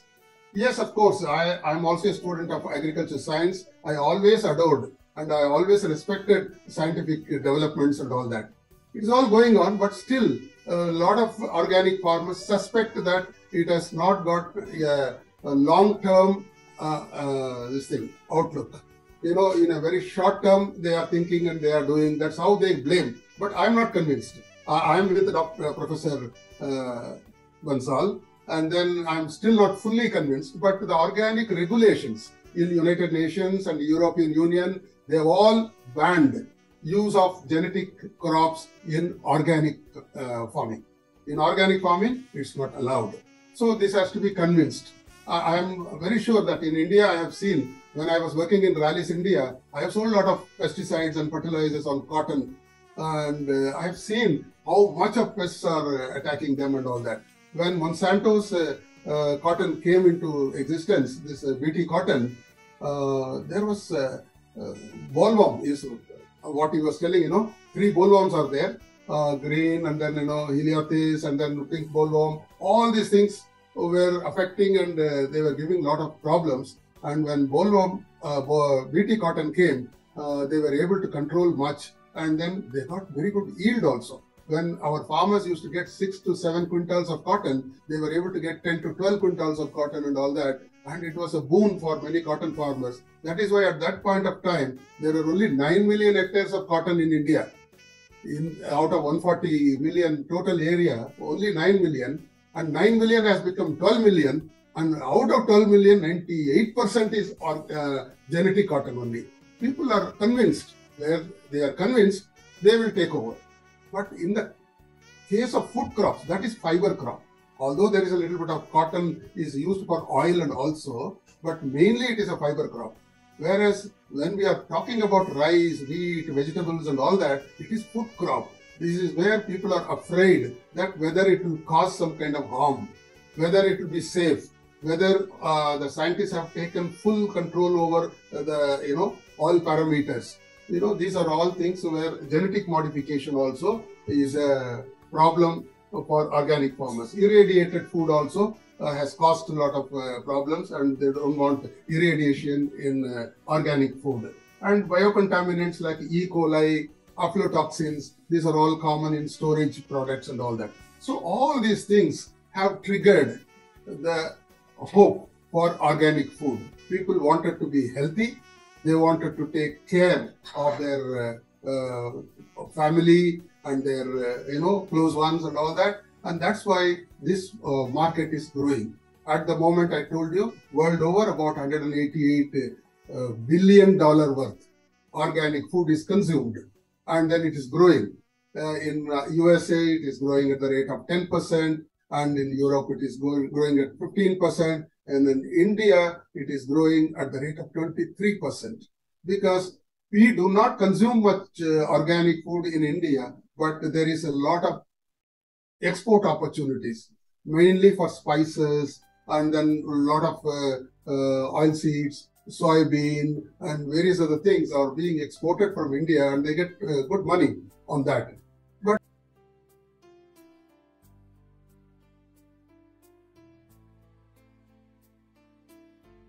I'm sorry, I, am going to get some problem with my computer.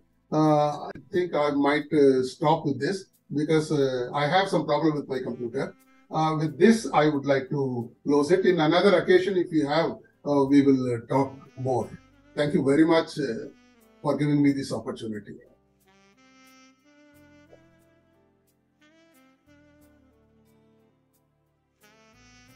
Thank you, sir. That was quite informative. And uh, I think you have covered almost all our pointers today, uh, starting from the evolution of food trade landscape and the patterns of agro-food GVCs, shares and growth of total agro-food value traded in GVC, that also we have talked about, benefiting from GVC's participation, like how we can contribute to the global economy, that also we have touched a little bit, and the factors that influence the agro-food GVC participation, that also we have taken into consideration. And moreover, like uh, last but not the least, the shares about agricultural workforce being employed in the agro-food GVC. That also uh, we have taken into consideration uh, during your presentation. Thank you so much, sir. It was quite very quite insightful, quite informative, and thanks for being here. It was a great pleasure having you here. Uh, Aparupa Patnaik, are there any questions from the audience for uh, Mr. Durairaj? Yes, ma'am. I will come back with my, maybe I will come back with my telephone later on. My Sure. computer is. Uh, we can take the questions, sir. We can come up with the answers later. Aparupa, Okay. please go ahead. You can register the question here. was from Mr. Jean that the effects of climate change have negatively impacted agricultural productions.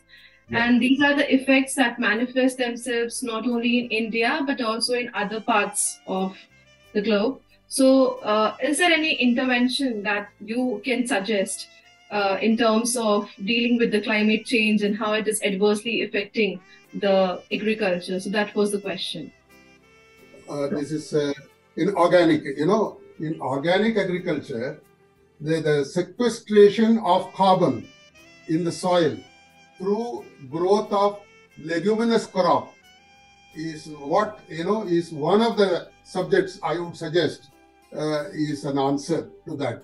Because in agriculture, we have to bring down the carbon from the atmosphere and carbon sequestration through leguminous crops. You know, we are doing rotation, crop rotation. When we grow maize this year, next year it will be legumes like pulses. When you grow pulses, they uh, fix nitrogen. Plus, we also, uh, you know, bring down the carbon uh, through the photosynthesis and all that.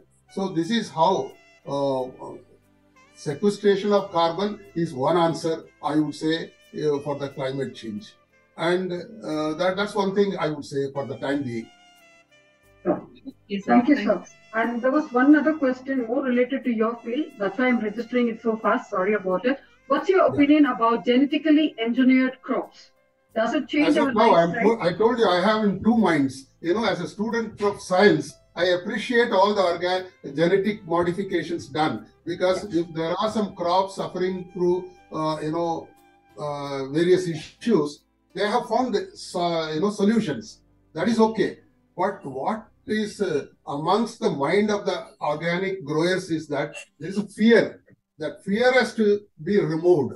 That you know, like in uh, soybean, Roundup Ready soybean in USA, what they have done is they have put a gene from uh, hazelnut or no, Brazil nut. Brazil nut gene has been brought into uh, soybean, and from soybean they extract oil. So far they have been consuming soybean oil, nothing happened. But when Roundup Ready soybean oil was used by some consumers, they got allergies in their body. This is, you know, the report. I'm not, I can't authenticate reports in the US journals and all that, uh, that there is allergies. This allergic symptom has appeared because of the hazelnut, not because of uh, soybean.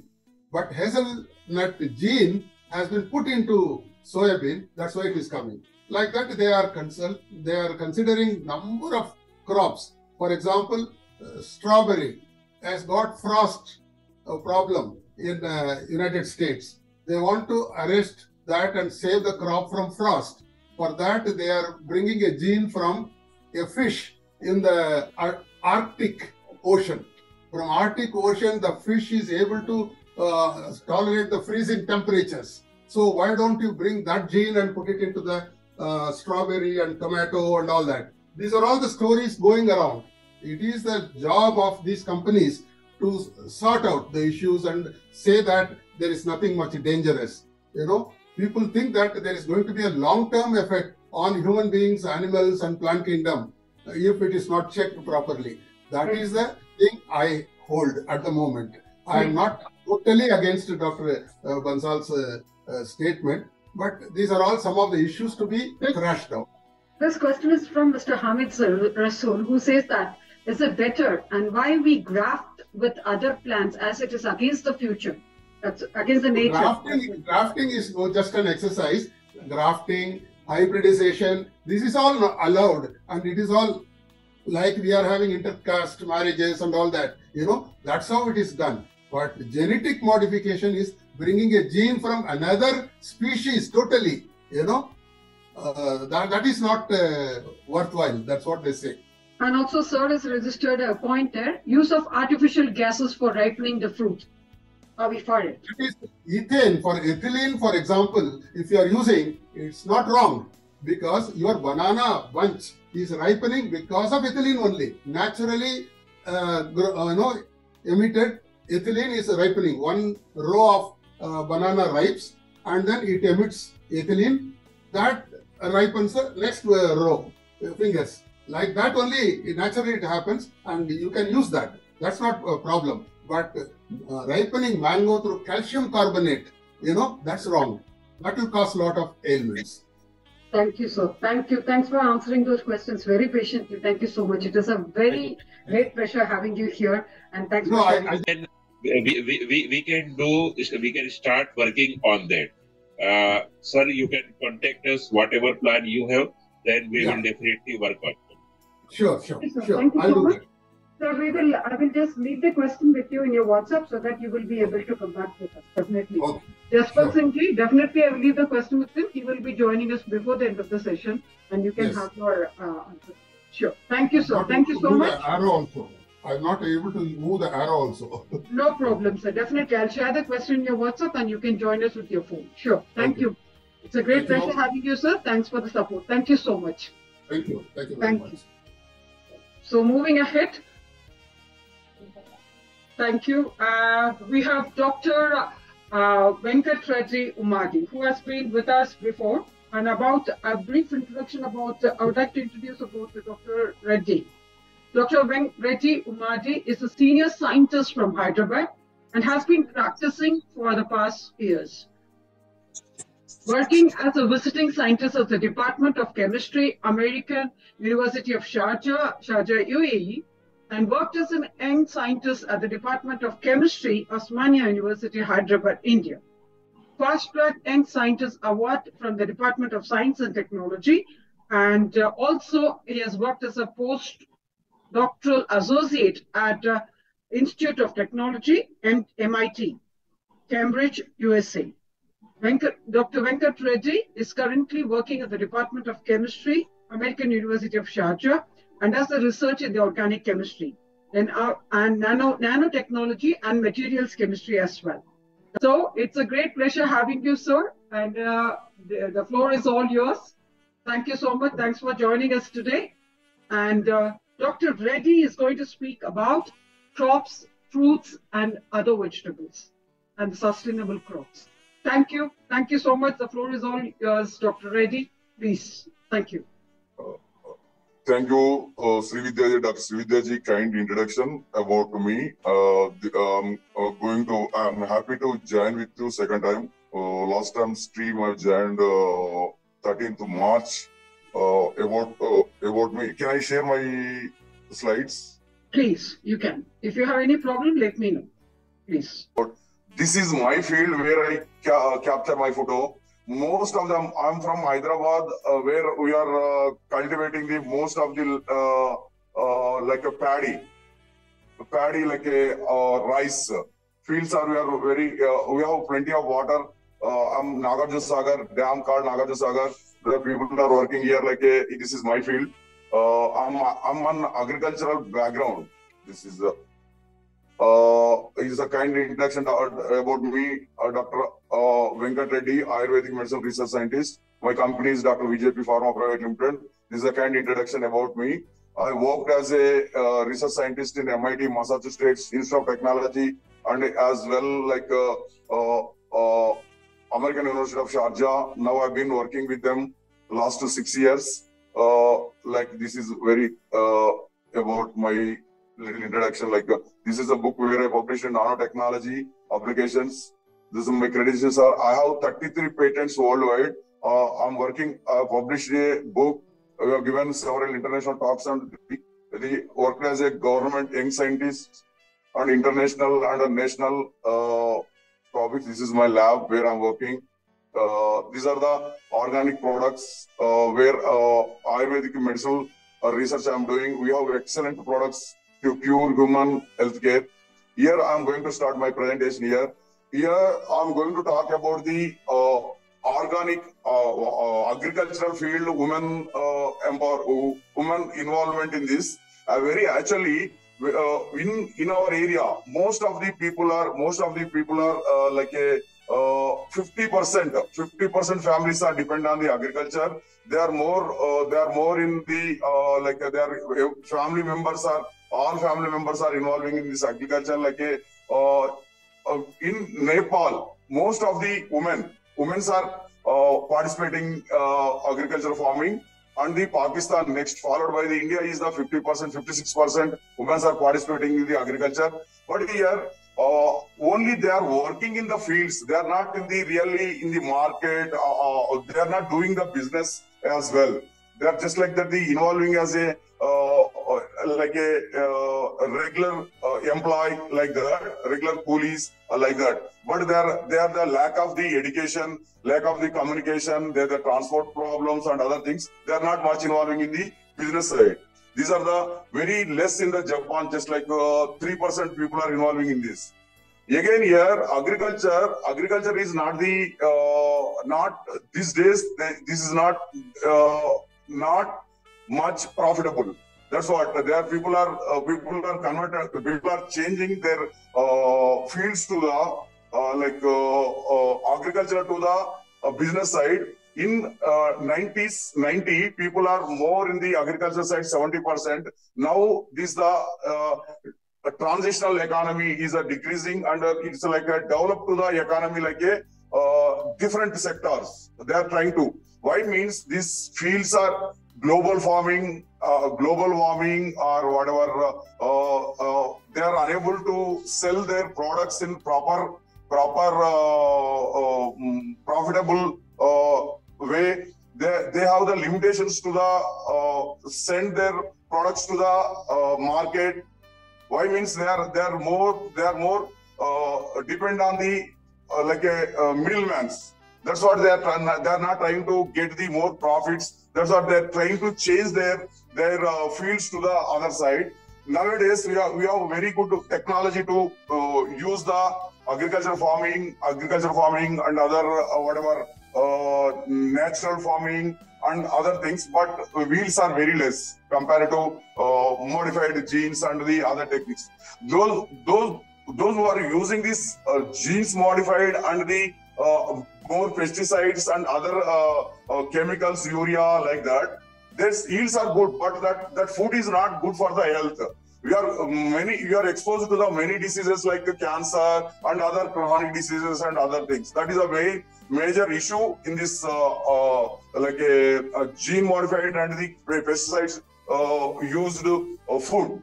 That's what people are now. Now they are trying to change the their their mindsets to the farming, organic farming side. This is the one where where we are going to work on. Now I'm working on the organic farming side and the like uh, like uh, the, the yields are compared to uh, gene modified these are less but that's a good for the health. That whatever food you take, the in uh, whatever uh, as a food, uh, most of the most of the uh, consumable, uh, whatever most of the people are using the pesticides, very harmful pesticides. That that, that is not good for the health. That's what we are uh, trying to use the organic farming like a, a gocher. Gocher means here go-based economy, go-based economy and go-based agriculture farming and the what uh, do you if you get good less yields also, but the food is uh, more uh, more uh, useful for the uh, body. Like uh, we will will minimize the diseases what you are taking inside. Good good food, good health. That's what you are trying to.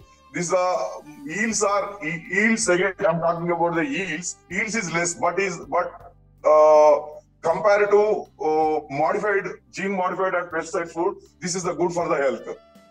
This is what I'm trying to say this. Here, global global economy, global economy depend on the global economy depend on the how agriculture sector is growing up. But here nowadays, the people are not getting more uh, profitable uh, agriculture. That's what they are. They increase the pesticides uh, cost. They are. They increase the labor cost, and they are. Increase the uh, like a, whatever uh, consumables and what they are using. But uh, after completion of their uh, crop, they are unable to unable to sell the their products which are which are profitable margins. That's why they are not interested to go the they are not interested to do uh, agriculture fields. They are they are trying to. If I'm I'm the uh, like a farmer uh, uh son, now my father has not interested to uh, uh, um, do. Keep me in the agriculture side. That's what I I am studied and I'm going out and I'm doing different things. But this is not the good for long sustainability everyone, whatever you are doing, what you have to take the food, you have to cultivate the food, you have to, agriculture is very important. Main main source is the agriculture, but you have to do the agriculture in sustainable way. That's what I'm trying to say this. Uh, for this, I'm going to uh, stop my presentation here. Thank you, Srividhyaji.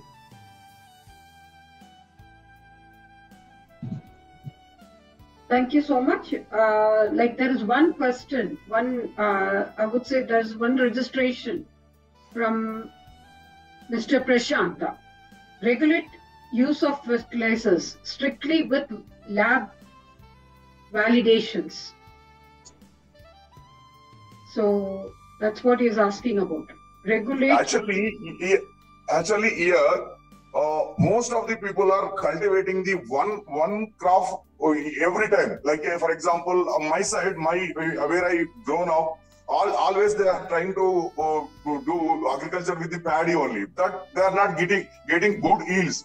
But when you change that uh, uh, fields with the other other uh, forms like a leguminaceae uh, families and other the it's like a uh, different um, uh, uh, land land is fertile when when you chase the craft to craft to craft but always one craft is not good We'll get will will end up with less wheels that's what i'm and he is continued so self first meaning naturally grown to be for the local consumption. By labeling organic, we are deprived of various foods that are made available cost effective. Kindly comment. That's that's what. Uh, if you get good uh, less yields also, this is the more uh, like uh, now nowadays stores are uh, here and there but compared to chemically uh, exposed food, like a, like a normal food, organic stores are compared to little uh, ex, uh, expensive, but it is good for the health. When you take that food, uh, that uh, some diseases are not discussed with you, many people are with less, it's a, like a age, there is no age factor. There is small kids also, like a 20 years kids, 25 years kids also exposed to the uh, this kind of foods. They are getting some chronic problems or like a cancer also. They are end up with the cancers and other things also. But here, control the pesticides. Control the pesticides with limited use of the pesticides or the uh, you whatever uh, uh, harmful chemicals. Uh, end up with the less yields also. We'll get the good good uh, profit on this and uh, we'll will sell these products at little higher cost. That's no no issues. He exposed to the diseases and going to the hospitals is not good for health. Good for anyone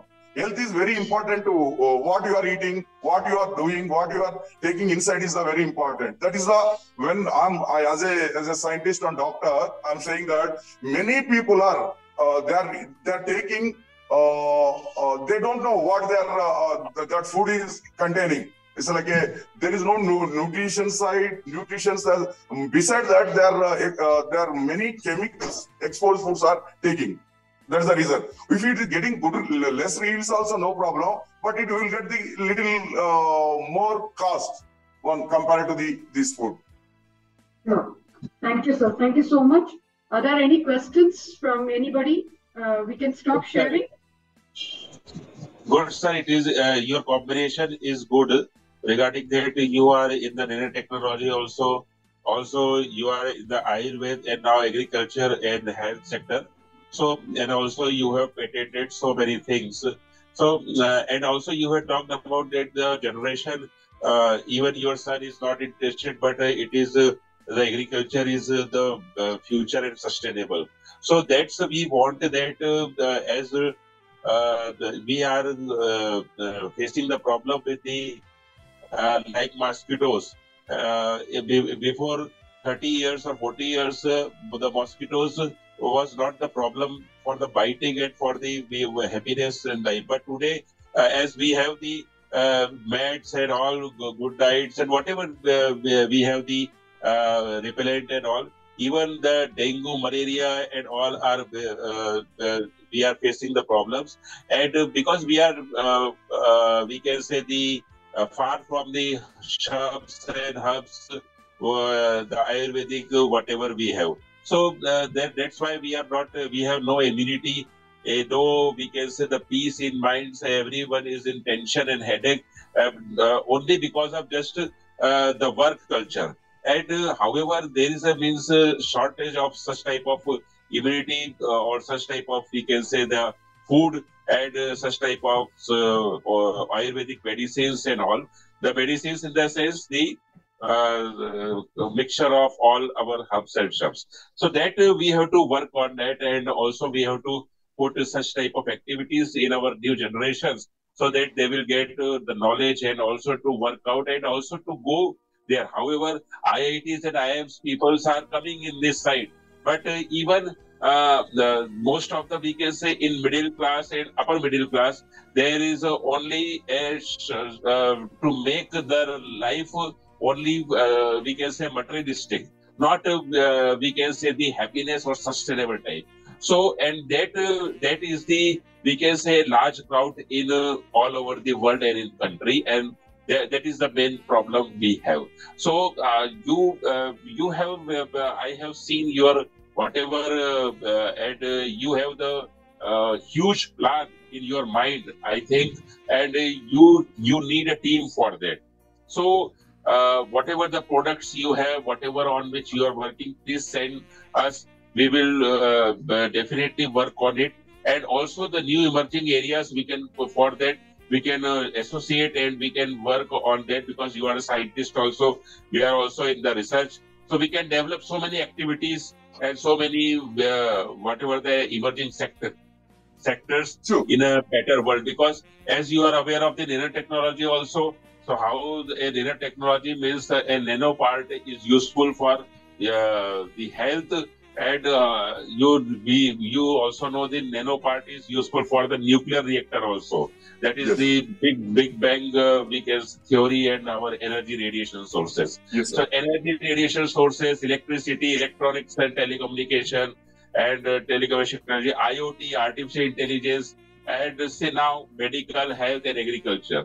So the, the, you are a good mixture of all things, and definitely we can uh, sort out these sectors where we can develop the world. You send Sure. all proposals to our numbers, WhatsApp number, email. I have all already mentioned in the chat box, and uh, we will work out on. Sure. Thank you, sir. Yeah, sure. Thank you. Thank you, Dr. Reddy. Thank you, Vijay Kumar Sarveji. And uh, Dr. Reddy, thanks for all those information. That was quite in, informative and statistical rather than, uh, you know, like uh, as we have been to- talking and registering in general, that was quite uh, to the point and to the specific, actually, the measure specific that I would like to mention here for. So as we all know that uh, agriculture and food chains are begin, have becoming increasingly centralized around specific herbs uh, with the ends of value chains centralized around China, US, Germany. That's what the stats of uh, Dr. Reddy was showing. And these countries have driven much of supply and demand for value added within agro, agro-food GVCs. uh. And China in particular has emerged a key player in the agro-food GVCs. uh, And accounting from the largest increase in the use of agro-food value added for exports and in the supply of agro-food value added exports in forward linkages between agro-food GVCs is close to about 20%, 27% that we have seen in the chart as such. And exceeding from the sum of about three largest contributors of Brazil, US, and India, many developed countries have remained significant drivers of agro-food GVCs, even increasing their importance in the GVC network despite shifts in the location of the production growth towards emerging and developing countries. Many countries in Europe, for example, have been responsible for the significant share of the growth in the trade of the agro-food food valued between 2004 and 2014. Beyond sourcing and supplying for exports, concentration is also remains in the buyers of the agro-food value added to the service of the domestic consumers, either the final products or other intermediates. So to have to know more about it, I would like to extend and present before you Mr. Manoj Zanwar. Mr. Ma- Mr. Manoj Zanwar. He is uh, he is representing Godavari Industries from uh, from India, and he is the sales and marketing director of Godavari Industries. And they have exports and imports. They have been excelling in the field of export and imports in throughout different countries. And um, moving ahead to know a little more about uh, Mr. Manoj Zanwar. Sir, would you like to introduce yourself? Sure. Uh, good afternoon, everyone. You, I hope I'm audible. Yes, sir, you are audible. Please go ahead. Thank you. Thank you, sir. Thank you. Please go ahead. Good, yeah. Good afternoon, uh, respected speakers and all the attendees. Uh, thank you, Dr. Srividhyaji, for giving me an opportunity to present my views on this topic uh, of GVC in uh, agricultural sector. Uh, as you have uh, briefly uh, mentioned about me, uh, I work in, uh, uh, I'm a partner in a company called Godavari Industries, where we are manufacturers of corn grits. Uh, corn grits is basically grits produced from corn, maize. Now, the applications for these corn grits is basically using all the extruded snacks like the kurkures and the cheese ball and the, the rings that you see in the market. Uh, these days, earlier we all have been used to all the Indian traditional snacks, but now with the new technology or the, the new concept of extruded snacks, there has been a growing demand for corn. Uh, I know all the speakers here are quite technical, quite qualified, and have a great uh, research insight uh, and having a detailed background.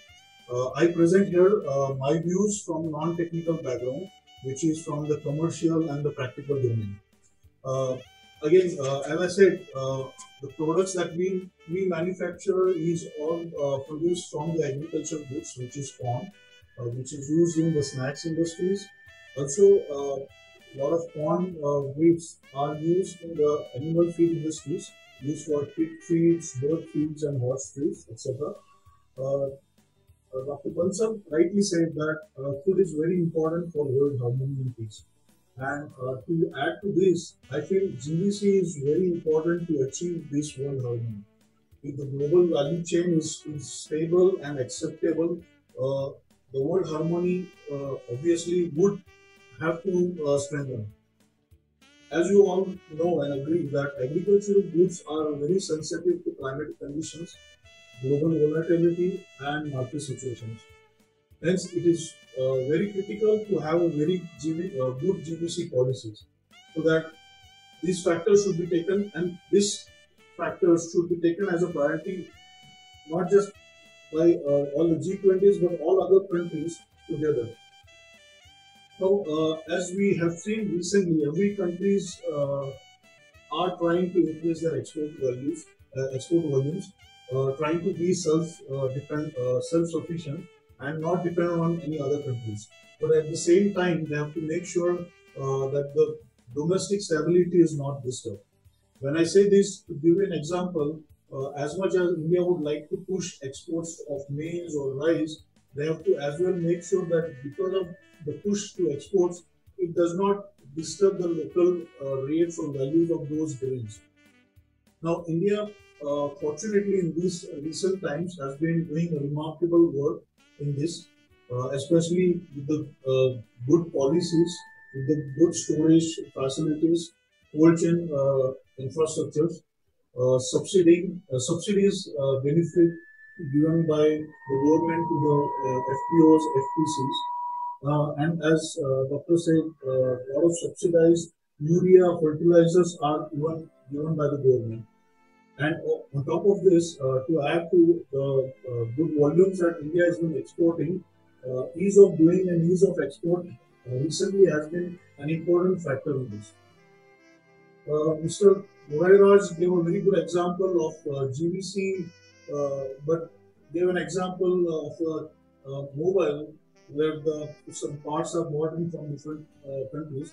But let me give you an example which is much more related to our topic that is agriculture. Now, we, Godavari Industries, uh, manufacture corn grits. Now, corn grits is a raw material for the extruded snacks. Now, there are clients who are manufacturing extruded snacks, let's say UAE or Bahrain or Qatar. They import corn grits from India. Obviously, the extruded machines are imported from either European countries, China or India. A lot of flavors are bought from uh, again European countries, Malaysia. Oil is being imported from Indonesia, from Malaysia. So there are all these uh, dependent countries to just produce a single product. Now this this sets a very good example here for this forum of how the GVC works and how it is so critical to even produce a small uh, product like this. Now, uh, lately what we have seen is uh, with the uh, uh, dependency or with the push in agricultural sectors in India, Uh, the exports of Indian uh, agricultural goods, especially I can speak about maize. Uh, two years back, it was around 1 million, around 1 million metric ton was exported from India. Now, recently, in last 21-22, it, is, it has increased almost 3.5 times and we are exporting around 3.6 million metric ton in 21 22. So all this could happen with all the good facilities, subsidies and uh, good environment for, for business. Uh, obviously, a lot of factors uh, do control uh, in our uh, business, especially the recent uh, Ukraine war has hampered exports from Ukraine and that has become more, the exports have been increased from India to support that to compensate that. So for us as an agri- agricultural producing company or, or value added company on uh, value added products, we feel global value chain is very very critical uh, to bring that harmony, to bring uh, ease of flowing the material, and uh, it's just not one country which could contribute.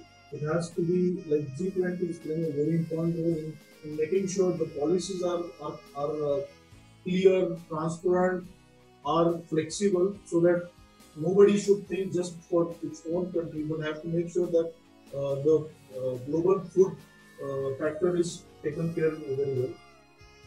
Now, uh, just to add to the the, the, non, the GMO part, uh, the experience that we have from the GMO part uh, is that a lot of clients, rather many countries are still restricting imports of GMO material and fortunately in India, we do not have the GMO in corn.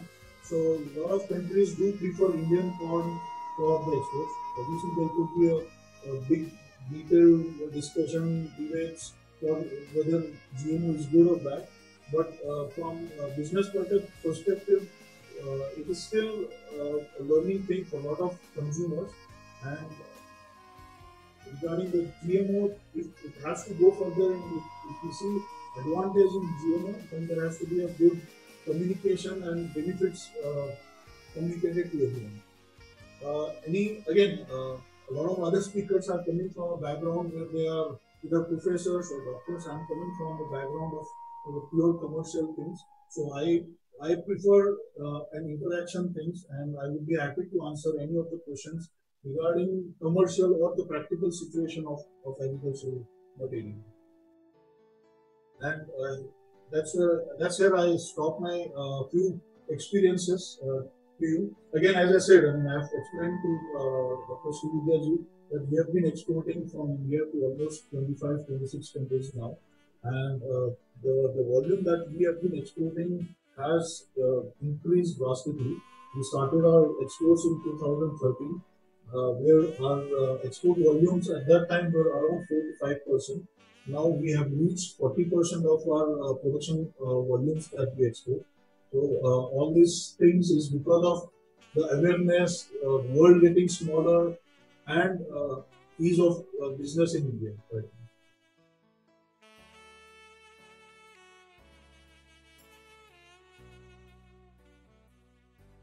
Uh, Dr. Srividhyaji, you are not audible.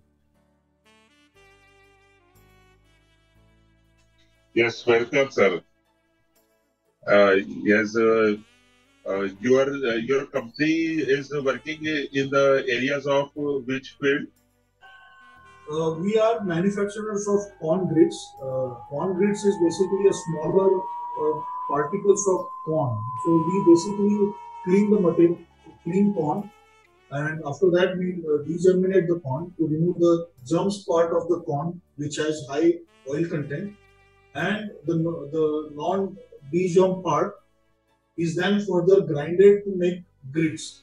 Now this is used for the extruded snacks manufacturers like the the kurkures and the, the snack, the extruded snacks. Even uh, for that matter, uh, the cereal flakes, the, the breakfast cereals that we use, even that is uh, the raw material for that is corn grits as well. So, yeah, that. Uh, How do you spell that? Spell it, please.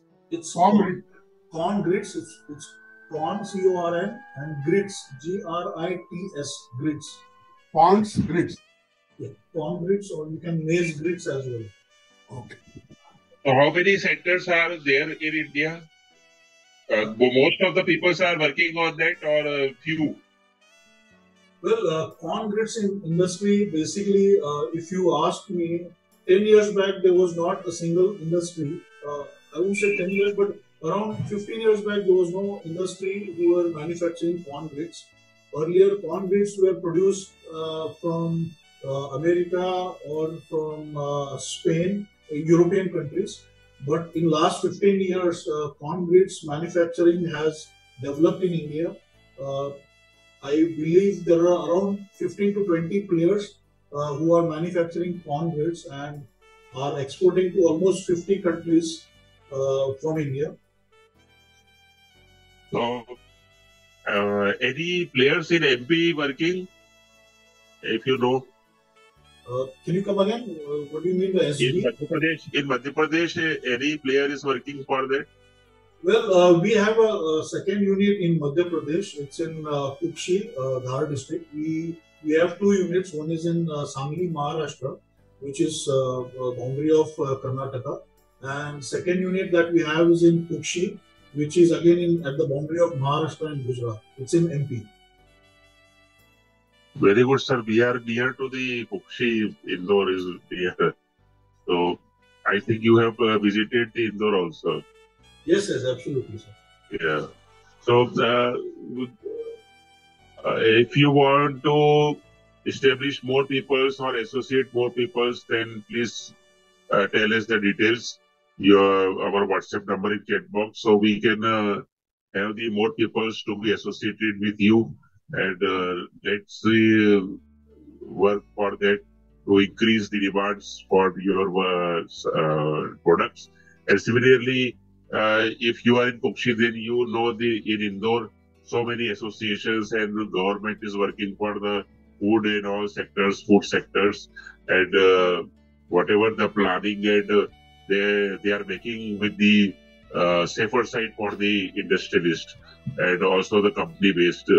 So uh, Pithampur associations is there and also AIMP and all CII PhD. You you you may uh, you may got uh, so many invitations from that also or your uh, plant head also whatever they be.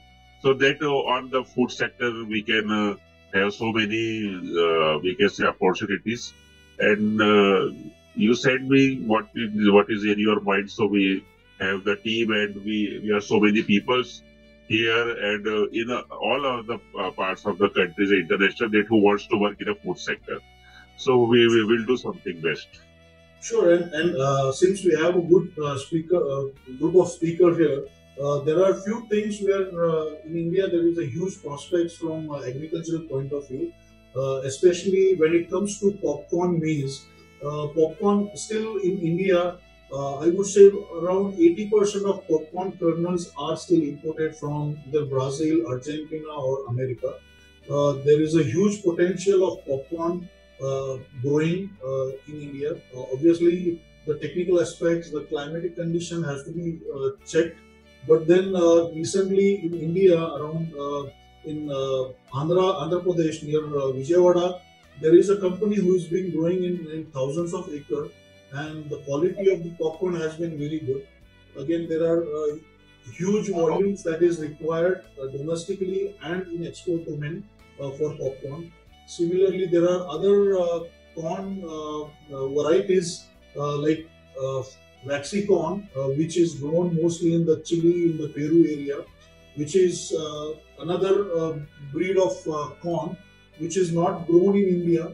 But then there are huge potential where those um, grains, if grown in India of that particular quality, there would be another set of uh, uh, parallel uh, snacks could be developed based on the waxy corn. So, any details on that matter, any feedback for that matter, I, I would be very happy to uh, work with any of the uh, dignitaries here. welcome sir welcome you send the details we will do something Thank you, Mr. Manoj. There's one question from Mr. Jaspal Singh Ji that we would like to register here. What were the challenges you faced with respect to the quality supply of the raw materials? Uh, Kindly info on this, sir. Thank you. Yeah. Uh, quality in India, especially for corn, has been great. Uh, rather, there, I mean, the belt that we come from, which is Sangli, which is in Maharashtra. Uh, I know there are clients in Yemen who specifically ask for corn from Sangli. So, quality wise, yes, there has been uh, uh, quite easily available. There are these days there are very knowledgeable farmers who have been uh, growing. One of the biggest challenge in India still is the, the contract farming, which is still in a very initial stage. Uh, the contract farming, it's basically group of farmers for coming together and, and growing one particular type of seed uh, that still is a challenge in India because uh, all the farmers who has either one acre or five ten acres, they, they grow their own seed, they use their own type of fertilizer. So there, for us, when we buy uh, corn from all these multiple uh, farmers, we still have that challenge of having different varieties, even from the same town uh, where the farmers are coming. So that's one place where uh, obviously government knows that factor and they are still working. They are trying to push particular set of fertilizer or seed to a particular area. But then that there has to be more uh, focus on that. If we get consistent uh, quality of corn as a raw material, then we would have easy and better qualities compared to what we have. But having said that, Indian farmers are very smart these days with the technology, the digitization. Everybody is aware of when the rains are expected, when what is the humidity and other things. So a uh, lot of farmers are uh, rather there are uh, some examples where there are uh, PhD people who are into the agriculture uh, uh, domain, developing new crops. recently, in, in, around Sangli belt, there is an area which is within the Sangli district now, which it has, it has stand up in India as one of the biggest producer of baby corn. So even the baby corn is grown in, in, in our area, around 50 kilometers from here, and it's been exported. So a lot of uh, traction is there from the farmer side to learn. The environment is good, but then there has to be more push from the, the contract farming so that we have more consistency in the raw. Thank you. Thank you, Ji. Thank you, Manoj Zanwarji. It was very nice having you. Thank you for just touching those points on promoting more inclusive and sustainable agro-food GVCs. Thank you so much. It was nice having you, and it's a great pleasure talking to you. Thank you. Thank you. And uh, moving ahead, like uh, I could see Professor uh, K.C. Bansalji joined back again. Mr. Durairaj Rangamji also joined back again. We should take up those questions and before we end the session, I think. Yes, coming back to the questions. Sir, you want me to repeat the question for you, sir? Yeah, well, I can um, also read the questions myself yes. because they're there in the chat box. So one of the questions from Mr. Jagpal Singh is genetically modified crops are having lots of limitations. Climate change is our major challenges. You know what? In fact, some of the questions are related. True. So I would like to give a general answer first. And even anyone has specifics, I will come to that. There are certain misconceptions, there are certain myths we carry along with us. You know, that Organic farming is good. Yes, it is good. Genetically modified seeds are not good, which is a myth. We have to buy these genetically modified seeds every year. That's not true. It's a myth. Also, I, regard to this, that you have to buy those seeds every year, I will clarify this first right now. You have to buy the seeds fresh every year if it is a hybrid crop variety. Okay, that hybrid crop variety can be developed through conventional breeding methods, which are being developed, which are there in the market, or can also be developed through GM route, genetically modified route. So irrespective whether you use conventional methods or you use genetic modification, if it is a hybrid crop variety, you have to always take seeds fresh every year. And farmers are aware more than what we are talking here today. They are aware of it. And they prefer buying seeds every year because they know if it is hybrid seed, they get 25% more production. Even if the cost is a little higher than the open pollinated varieties, farmers are looking for hybrid seeds in one crop or the other. They're not producing each and every crop. Wherever there's a possibility, they always prefer. And the burning example here in India is BT cotton. It's a hybrid. BT cotton. 95% farmers adopting it for the last 20 years. What are we talking about? 20 years, 95% of the farmers. That's one. Second, second, that the organic seeds will disappear. What do we mean by organic seeds? There's nothing called organic crops. These are cultural practices if you provide dung, you provide, you know, like natural fertilizers, not synthetic, not urea, no chemical pesticide, you know, free of all those synthetic agrochemicals. Yes, that's a practice we prefer. That's organic farming. But then please remember what we were doing before 1960. When we had in mid 60s green revolution, we were waiting for it. We got those high yielding wheat varieties, rice variety seeds. Farmers planted them. Farmers were advised to give more fertilizers, more agrochemicals, more irrigation to produce more. That was a requirement. But it turns out to be no, that was not the sustainable way of going. What is the sustainable way? That we cut down on the use of fertilizers, cut down on the use of agrochemicals, particularly pesticides, and still from the same area or land we produce more. So before the Green Revolution came, we were not giving more fertilizers. We were not using more agrochemicals. It was all organic, almost. Okay. But then we shifted towards more fertilizers, more irrigation, more chemicals that was required to increase our production. That was a requirement of Green Revolution. So what are we doing with GM crops? With BT cotton, I mentioned there's a less use of pesticides by the farmers. 22% reduction in the use of pesticide. It's an international analysis, you know, and, and farmers prefer it. And now what we're doing through genome editing, I must tell you there are certain questions regards to climate change. There's a wonderful question someone asked, I think some uh, Dr. Jean Econova. Yes, there, there, are, there are adverse effects of climate change in agriculture. So what are we doing? Now we are trying to, we have learned a lesson through green revolution by damaging the environment, which was important that time to produce more. But now we are working on genome editing, where we're trying to increase the efficiency, use efficiency of some of those natural, you know, kind of fertilizers to talk about it, water, land. We're trying to conserve water. Somebody asked, how can we, you know, have less impact of climate change? We can now reduce greenhouse gas emissions from some of those crops which are developed through genetically modified route or through genome editing. Okay, and also Jennifer Doudna, who is from University of California in USA, one of the Nobel laureates out of the two who were awarded Nobel laureate for genome editing. She's advocating that we should use genome editing in agriculture to improve the crops to have less emission of green uh, greenhouse gases. It will have less warming, more carbon sequestration to the to the soil you know? So there are so many possibilities now. By the way not that we always want to do because of our will of scientists gm crops or genome editing no.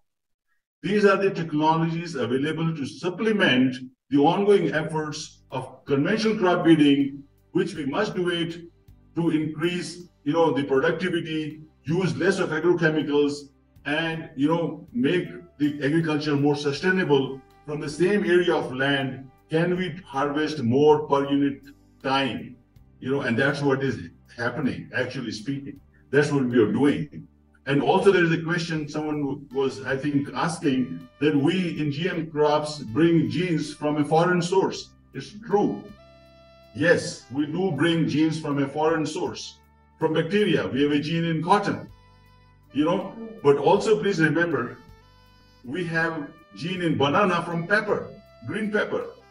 Banana plant gets died devastated because of a disease called fusarium wilt but there is a gene fortunately which is available in pepper. You cannot conventionally cross pepper with banana. So what you take the technology is available if you want to. Nobody is forcing anybody to do anything of this kind. It's a choice with the scientists, with the organizations, with the countries to use it or not to, or even if it, the products have come to the market, it's choice of the farmers whether to take it or not to take it. But here, what I'm saying here is there's a gene from pepper which was transferred by an international institution in Africa to crop in, in, in banana. That banana was 100% healthy, no fusarium wilt disease. So there are so many examples of this kind. Also, there are regulations international level. There's a Cartagena protocol on biosafety. There's a Codex Alimentarius with regard to food quality. everything is regulated internationally. Very stringent regulations are there when we talk of release of GM crops in any country for that matter. And someone was asking a question, I think I overheard, that you need to do some long-term studies about the safety of some of those genetically modified food crops. The longest study, if you want to call it as a study, is that in the United Nations, people have been eating genetically modified crops for the last 25 years. So I don't know how many people, 450 million or 500 million people, eating genetically modified crops. Some of us who go to us to US, you cannot escape genetic modified eating crops. So 450 million people for the last 25 years consuming genetically modified papaya, for example. It's not that it is cooked, it is not that it is processed, it is eaten raw. I've eaten sweet corn genetically modified in US myself. So what I'm saying is, and they're all safe. There's no question at all. There's no sort of allergenic studies. I think Dr. Um, Durairaj talked very nicely about Brazil nut into soybean, but those were the days, initial days gone by. You know, now we're talking whatever is in the market, about dozen of crops, 29 to 30 countries producing it, 72 countries consuming because they're not produce, but they get themselves imported into their country. So they, they, they're happily enjoying the benefits of it. And moreover, important is this is my appeal to some of my friends who are batting for organic farming. I like myself, who would not like any vegetable or a fruit or a, or a staple crop free of pesticides or agrochemicals or less fertilizers. We all want it. Genetically modified crops are a step towards that only. You know, someone said you need less pesticide. Yes, there are crops, genetic modified crops where you use less pesticide, much less. I'll give you an example. Give me for two more minutes. I don't know if time is a constraint. I give you an example of brinjal in India. I don't know how many of you know brinjal, how many of you have eaten eggplant. Okay? Farmers Poor farmers grow brinjal for their own income, source of income. They have to spray 30 to 40 times in the season of the brinjal crop, 30 to 40 times. Why? And do we accept that crop or the brinjal sprayed with pesticide, loaded with it, and are we happy to eat it? There will be so much of residue, pesticide residue in it. And we're eating it, by the way. Okay, if you're buying the clean, looking, nice looking, you know, brinjal, you know, from the market, we're eating it. Okay, while there are regulations to cut down on the pesticidal residues, effect, etc. But then BT brinjal was a solution. In BT brinjal, we can kill the insect just by the brinjal when it eats only the leaf portion for it further to develop, it gets killed. It doesn't even reach to, to the level of fruits where it can bore. It's called fruit borer. It makes a bore, enters the brinjal fruit. And why farmers end up spraying 40 times? Because from the larva to that borer, that insect takes the shape, it takes about 24 hours. And once the larva has entered the fruit, it's covered. You keep on spraying pesticide, larva will not get killed. And when, when that 24 hour window, if you can capture within that window, yes, it will be killed. Maybe they're getting killed as well. But farmers will not sitting there watching. They we, we don't know. Even scientists will not know what is the time period, you know, that the larva will be in a particular field at what stage. So this is only, I would say, the blame on me while I've been advocating myself as a scientist in this country, making people aware about it that probably we need to make people more aware about it. You know, and my request to Dr. Srividhya is to, in fact, you know, you are all United Nations. You talk everything big, but please try to understand, make people aware yes. of any walk of life about these new technologies. Come what may, please remember these technologies use is going to increase further day by day. Why? Population today 8 billion to 10 billion. Okay, land shrinking, climate having adverse effect. All those challenges, sustainable developmental goals you're talking about 2030 is just seven, eight years from now. How are you going to meet all this until unless you supplement the conventional breeding tools, which rightly people are doing around the world, with these gene, gene modification, which is so precise, accurate, and also genome or editing, which is further precise and accurate and takes lesser time, lesser money, lesser resources, and give a robust product. So these are all scientific driven messages what I have given. This is, in fact, anyone is welcome to talk to me more about it. And I would again request Dr. Vidya and all of you, those who would take participation in making the whole world aware, particularly the Indians and the school children. Thank you very much. Sorry if I said, took more time, but I thought I should make it clear. And I hope still if there is any question, I'll be very happy to take those questions. Sure. There is a request from the participant as well, and that's the same request which I have from my side. Sorry, I couldn't hear you. Can you please? Uh, right, one second, sir. Uh, yeah, so, now, now I think I'm audible. Yes, there is a request from the participant side. So we are going to place one more request. We are we are longing to have one more session with you on one-to-one basis. So when can we arrange that? Let's coordinate, and so that we have more things to talk about. Sure.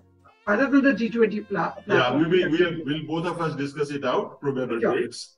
I'll give you two, three dates. Any date suits you the best, and all others, I'm most welcome. And I'm and very happy structure, if you want to have that kind of working, uh, let's structure let, let us structure a working forum as well, so that we'll be able to, as you said, it's very important and it is very much objective. It is to its rational that we should take it to the common man, definitely.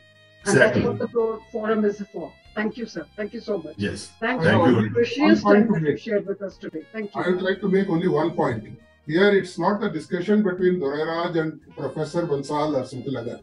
I, as a student of science, I already told that I admire this genetic technology. Yes. I always Excellent. liked it. There's one more question to be added with, uh, I think uh, uh, that's for uh, Mr. Durairaj Sir, your question? Uh-huh. India is doing natural organic farming, but due to lack of standard information and knowledge, farmers are not able to progress. Yes. And moreover, lack of interest of government agricultural officers, uh, that's going on negative. Let's leave the second part of the question. But this is what is the thing. Um, like uh, talking about organic farming, due to lack of standard information and knowledge, farmers are not able to register. So kindly uh, infer on that, sir. Thank you so much. Because there, there are organic standards which specify the, the seed has to be like this, the chemical fertilizer, no, the, the nutrient has to be from plant, animal, or microbial source only, nowhere else. And then crop protection also has to be from these three sources only. Like that, a lot of standard rules are there. Farmers are not aware of that. So quite a number of training programs have to be conducted and we have to There are now clusters being formed. FPOs are there, farmer producer organizations. Organic clusters are made now. Or the, these organic clusters are all being trained. So if we give enough training, they will understand. But now there is a lot of confusion in the organic sector also. I must bring it out to you. There are three verticals in organic farming. There is one NPOP, that is National Program of Organic Farming. That is one standard. Uh, that is uh, 2021, uh, 2001, it was announced by the government of India. We are following it. Only those people who are certified under NPOP can export it to other countries. So exportable products have to undergo NPOP certification. The next one, Agriculture Department has got one certification system called PGS, Participatory Guarantee System. Through that system, in a village, there are about five to 10 farmers. They can join together, form a small cluster, and they can tell the local council that we would like to uh, have organic farming and uh, we will inspect ourselves. One farmer will go and inspect the other farmer, the other farmer will inspect his farm, like that, self assessment. But they will all declare that they will take a oath that we will always farm, uh, uh, uh do the organic farming only. They will just sign and give it through that they are selling. You know, that is accepted only for the local markets. They can also involve the local traders also to come and inspect their field so that there is no non-organic activities taking place. So this is one system. And the third system, recently what has been happening in India is the uh, natural farming system. The natural farming system and organic agriculture, there is one important variation. In organic system, we are allowed to use farm resources like cow dung, cow urine, uh, uh, leaf, crop residues, compost, vermicompost, everything we can use. Plus, we can also supplement it with biofertilizers made from the laboratories and all that. Biofertilizers, biopesticides, we can buy and use it. There are also botanicals like neem extract, neem oil, uh, neem kernel extracts, you know, uh, azadirachtin, all those things, uh, if it is organically certified, we can bring it and use it. Those things were allowed in organic farming because crop protection is a major challenge for organic farmers. Organic farmers can uh, enrich his soil easily, but to protect it from neighboring farmers, because 2% farmer may be organic, 98% are non-organic. They are all spraying. Their insects may come and sit in your field. So how are you going to protect it? So there is quite a lot of danger in organic farming. That is why he would like to have some additional protection through biofertilizers, biopesticides, neem, and various other purchased uh, insecticides. But in today's latest farming technique, that is uh, the natural farming technique, they say that only farm, on-farm resources should be used. You should not buy anything from outside. That's good because one way it is sustainable. You will not spend money, zero budget farming, that's what they say. But that is not practical. You know, even amongst organic farmers, there is a division now. So what is right?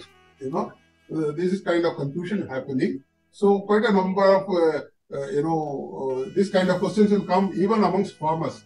How are we going to do that? What is the right one? They will ask. We have to answer all those things. So there is one more. How are we, sir? Sorry. Hmm. So self first. So self first. That means whatever we produce, let the country use it first. Means naturally grown for the local consumption.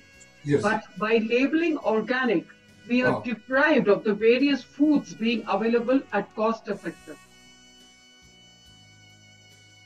Because you are labeling it as organic, you are depriving the non-organic food, is it? Uh, in the sense like it is not quite available, means it is being exported immediately. When you say organic, instead -huh. of getting available to the local consumption, to the local market. No, no, that is also available for local consumption. The NPOP certified products are also in big demand by the retail chains in India. The more uh, Reliance Retail, all these people are buying first. Only uh, part of it is going uh, exported, not all. But yeah. of course, we need, to, we need to expand. Definitely, we should. Because ah, that was the motivation is available for both. From Mr. Manoj Zanwar. Sure. Yeah. Thank you. Thank you, sir. Thank you so much. It was a great pleasure having you all. Uh, I, we have come towards the end of the session. Now we open it for the floor for uh, uh, other peoples to just ask questions or you can register your insights if anybody would like to. Uh, my question with the Doreras. Yes. Is there any special seeds for the increasing yield in the organic farming? No the, for increasing yield, there is nothing. What we, you know, in organic, no, no. what they say is, means, uh, the, it should not be treated with chemicals. That's the only rule they put. It has to be a native seed, uh, you know, anything that can tolerate the local weather and soil, you know, which is adaptable to the local thing. We are trying to avoid diseases. That is our main purpose.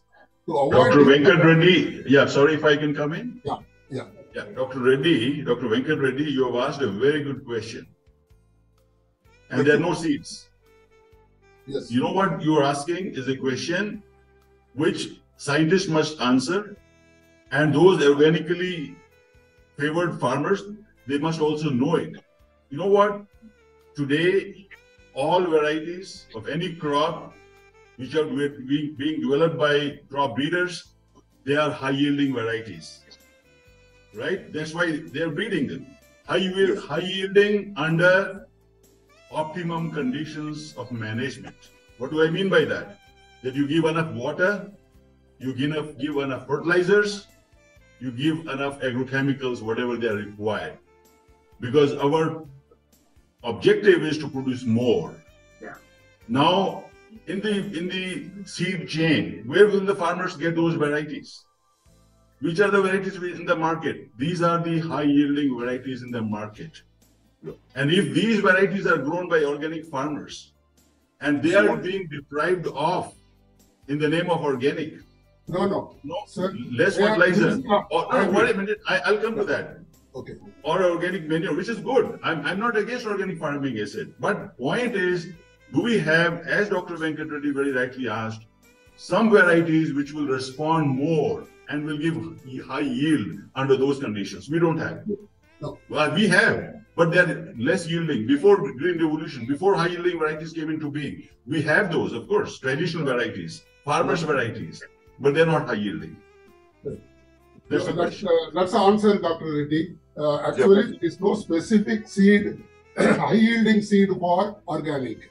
There is only seed for organic, which can prevent diseases and pests, which can tolerate the local weather and the soil condition. That's the kind of thing. Plus, it should not be treated with chemical pesticides while Thank you. sowing. That's only. Yeah. Thank you. Thank you so much, sir. Thank you so much. It was a wonderful session.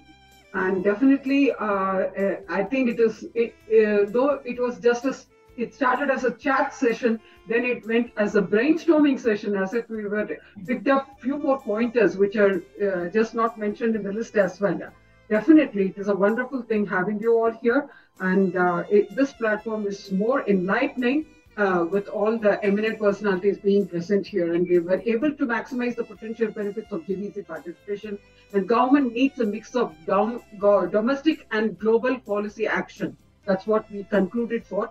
Removing all barriers to trade in agro-food products, both tariff and non-tariff barriers, and strengthening the broad uh, uh, investment environmental, enabling agro-food GVCs, allow producers to of all sizes to participate and help to ensure greatest gains to the greatest number of participants. Uh, under, understanding the drivers of the benefits of GVC participation shows a clear domestic interest of all the countries to remove their own distorting trade and investment policies too as well. So to this end, multilateral efforts that are inclusive of all the countries have to be widely coverage in all the sectors that reaches beyond the agro-foods and that is significant potential to deliver to deliver the benefits of all the agricultural producers of this country. So on that note, if this forum would allow, I would like to Hello. share a beautiful video from UAE. That is, we have cultivated a wheat farm over here in UAE just to cherish and just to make your mind green, if you allow me to do so, if the forum allows me to do so. Can I speak for two minutes, then we can go ahead? Is it Please, okay? sir. Please. Uh, that is from, uh, that was, Myself, myself, Jaspal Singh, I would like to speak just two minutes. And I uh, can please have your video on, sir. Jaspal Singh, Singh. Please have your video on, please. Sure. I'm very Yeah, curious to know more about you because you call yourself as a green innovator. Welcome to the forum, and the floor is all yours. And your questions were quite insightful, very informative, uh, very inquisitive also. Like we were, we were able to learn more and more with all your questions. Thanks for the same. Please go ahead. Thank you. Yeah, thank you. Uh, uh, myself, Jaspal Singh, I'm working in two areas. One is in uh, Maharashtra and the second is in Kerala. I'm uh, presently promoting FPOs in uh, both the regions. Uh, however, we are trying to do it like, you know, uh, we are also interacting with tribal zones also. We all know that farmers are not easy to be cracked. It's the tough part. We can speak theoretically anywhere, but when it comes to practical and speaking to them, it's not an easy part they are quite smarter than us.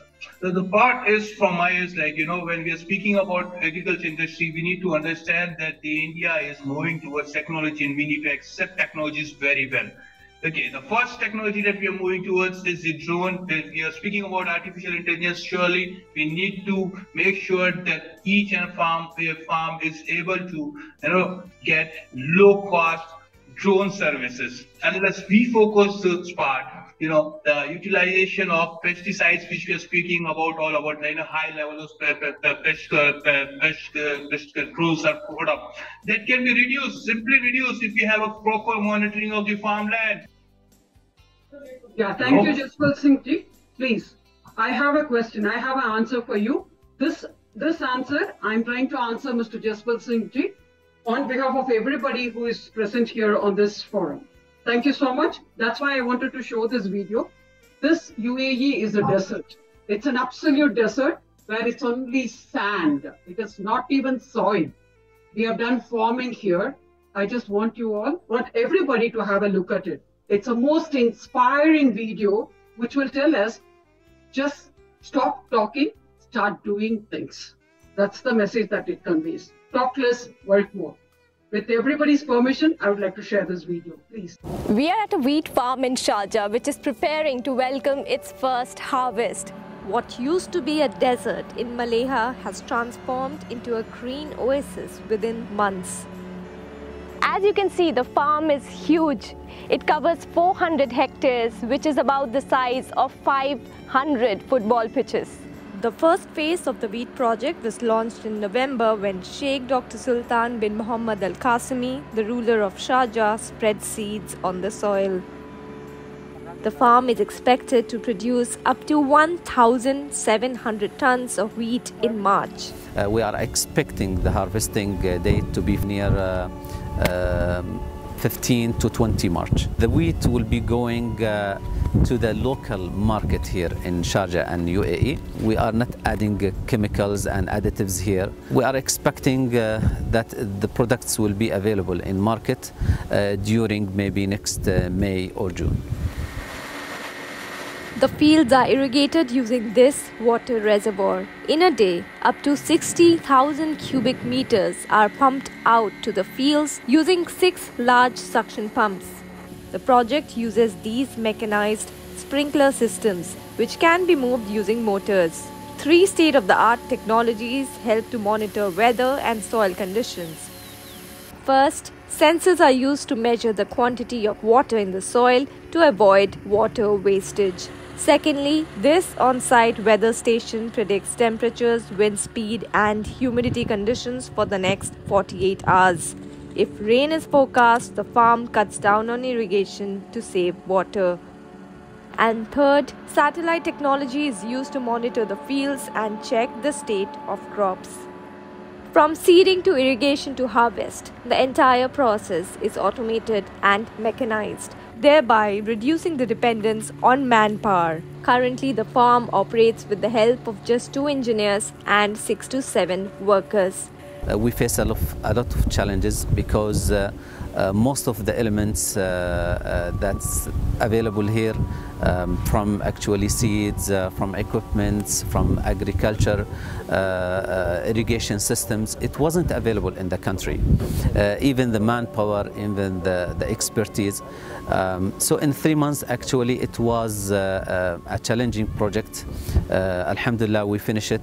This is just the first phase of the farm. It will be followed by other phases to reach a total area of 1,900 hectares by 2025. There's also a small experimental farm on site where about 30 varieties of wheat from different countries are grown. The crops are studied, monitored, and measured every day by experts. The experiments help in selecting the best variety of wheat for the project. The UAE imports about 1.7 million tons of wheat. The crop's production is an agricultural milestone as the country works on increasing food security amid rising concerns over climate change.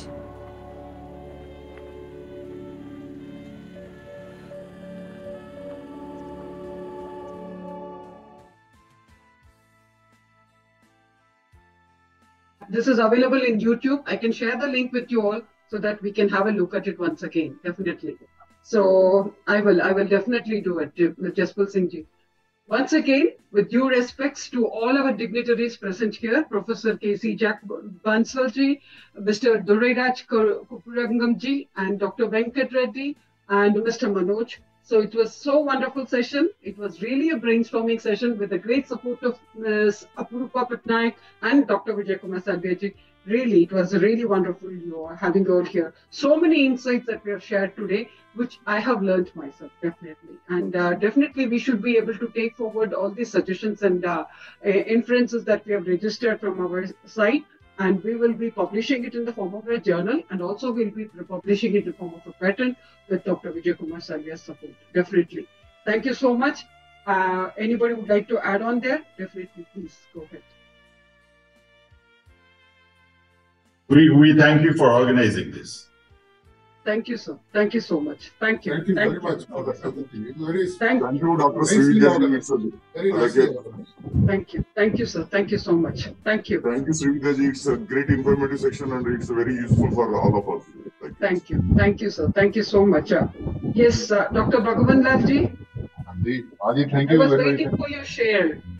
It's a Ah. usual custom that Dr. Bhagavan ji always be there in our session and he used to say, thank you, thank you. Yes, sir. Please go ahead.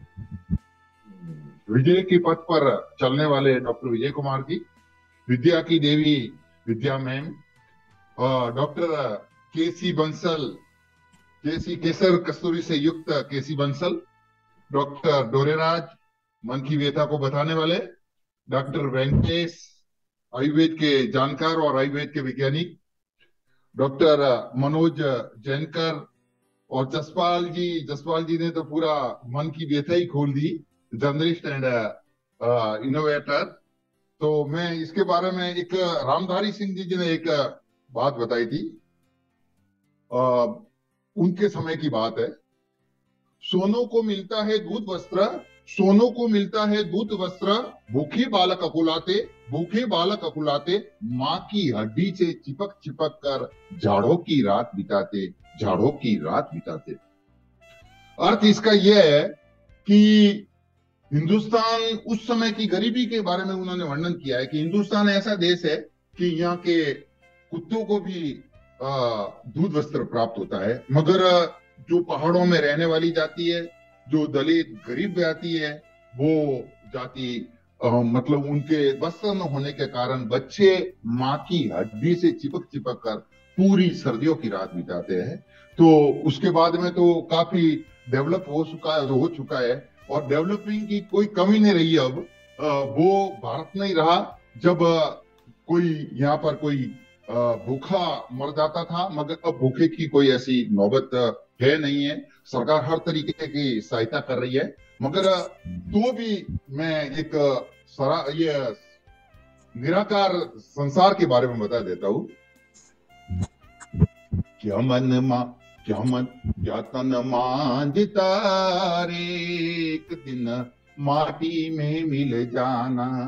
क्या तन मांझता रे एक दिन माटी में मिल जाना। माटी में मिल जाना प्यारे, माटी में मिल जाना प्यारे। जहे सीता पर सो जाना, जहे सीता पर सो जाना, क्या तन मांझता रे एक दिन मिल जाना, माटी में मिल जाना। कहने का मतलब यह है, मैडम साहिबान, कि संसार निराकार है ये तन जो बनता है, जो किसान बेचारा कृषि करता है है, अपना जितना भी तन, मन और पसीना बहाता है, और पसीना बहाने के बाद में अपन को वो भोजन की उपलब्धि करवाता है, वो अपन खुद भूखा रह जाता है, मगर अपन को वो भोजन कराता है तो वो किसान की व्यथा और वो आज भोजन भोजन में क्या क्या निकल गए हैं, कई पॉपकॉर्न निकाल दिए, कई प्लास्टिक में उसको फिट कर दिया भोजन को तो वो भोजन हम खाते हैं। शुद्ध और सात्विकता वो मैडम कहाँ रही जो कभी पुराने जमानों में हुआ करती था घट्टी की पिसाई का वो आटा वो आज भी याद आता है। मगर वो क्या करे करे कर क्या? ये जैसे अभी अभी बायोटेक्नोलॉजी वालों ने काफ़ी बता दिया। अ, जितने भी जो वैज्ञानिक थे यहाँ जितने भी कृषि के क्षेत्र में भोजन के क्षेत्र में न जाने क्या क्या इतना बता दिया इतना बता दिया इतने शोध बता दिए इतने आविष्कार बता दिए और आविष्कार न जाने कहाँ ये उड़ते जा रहे हैं उड़ते जा रहे हैं फिर भी मेरा भारत महान है Thank फिर you, भी thank you, thank you, Bhagwan Laji Jai Hind. Thank you so much. We need to upgrade ourselves. We need to see the change. We need to find the change. We need to look for the change. We need to change for being sustainable. sustainable. Sustainable starts from charity begins at home. We need to become ourselves. The change begins within ourselves, from us, and then we can just take it to the society. We can take it to the community. That's what I want to register. Thank you, sir. Thank you so much. Thank you. Thank you all. It is a wonderful. It It is a greatest pleasure meeting you all on this platform. I look forward to meet you all once again. Thank you. Thank you so much. Due respects. Thank you. Thank you. Thank you. Thank you. Thank you, Aparupa. Thank you so much. Thank you, Ji. Thank you. Thank you. Thank you. Thank you, Manoj Siti. Thank you. Thank you so much. Thank you, Dr. Reddy. Thank you. Thank you. Thank you, ma'am. Thank you. Thank you.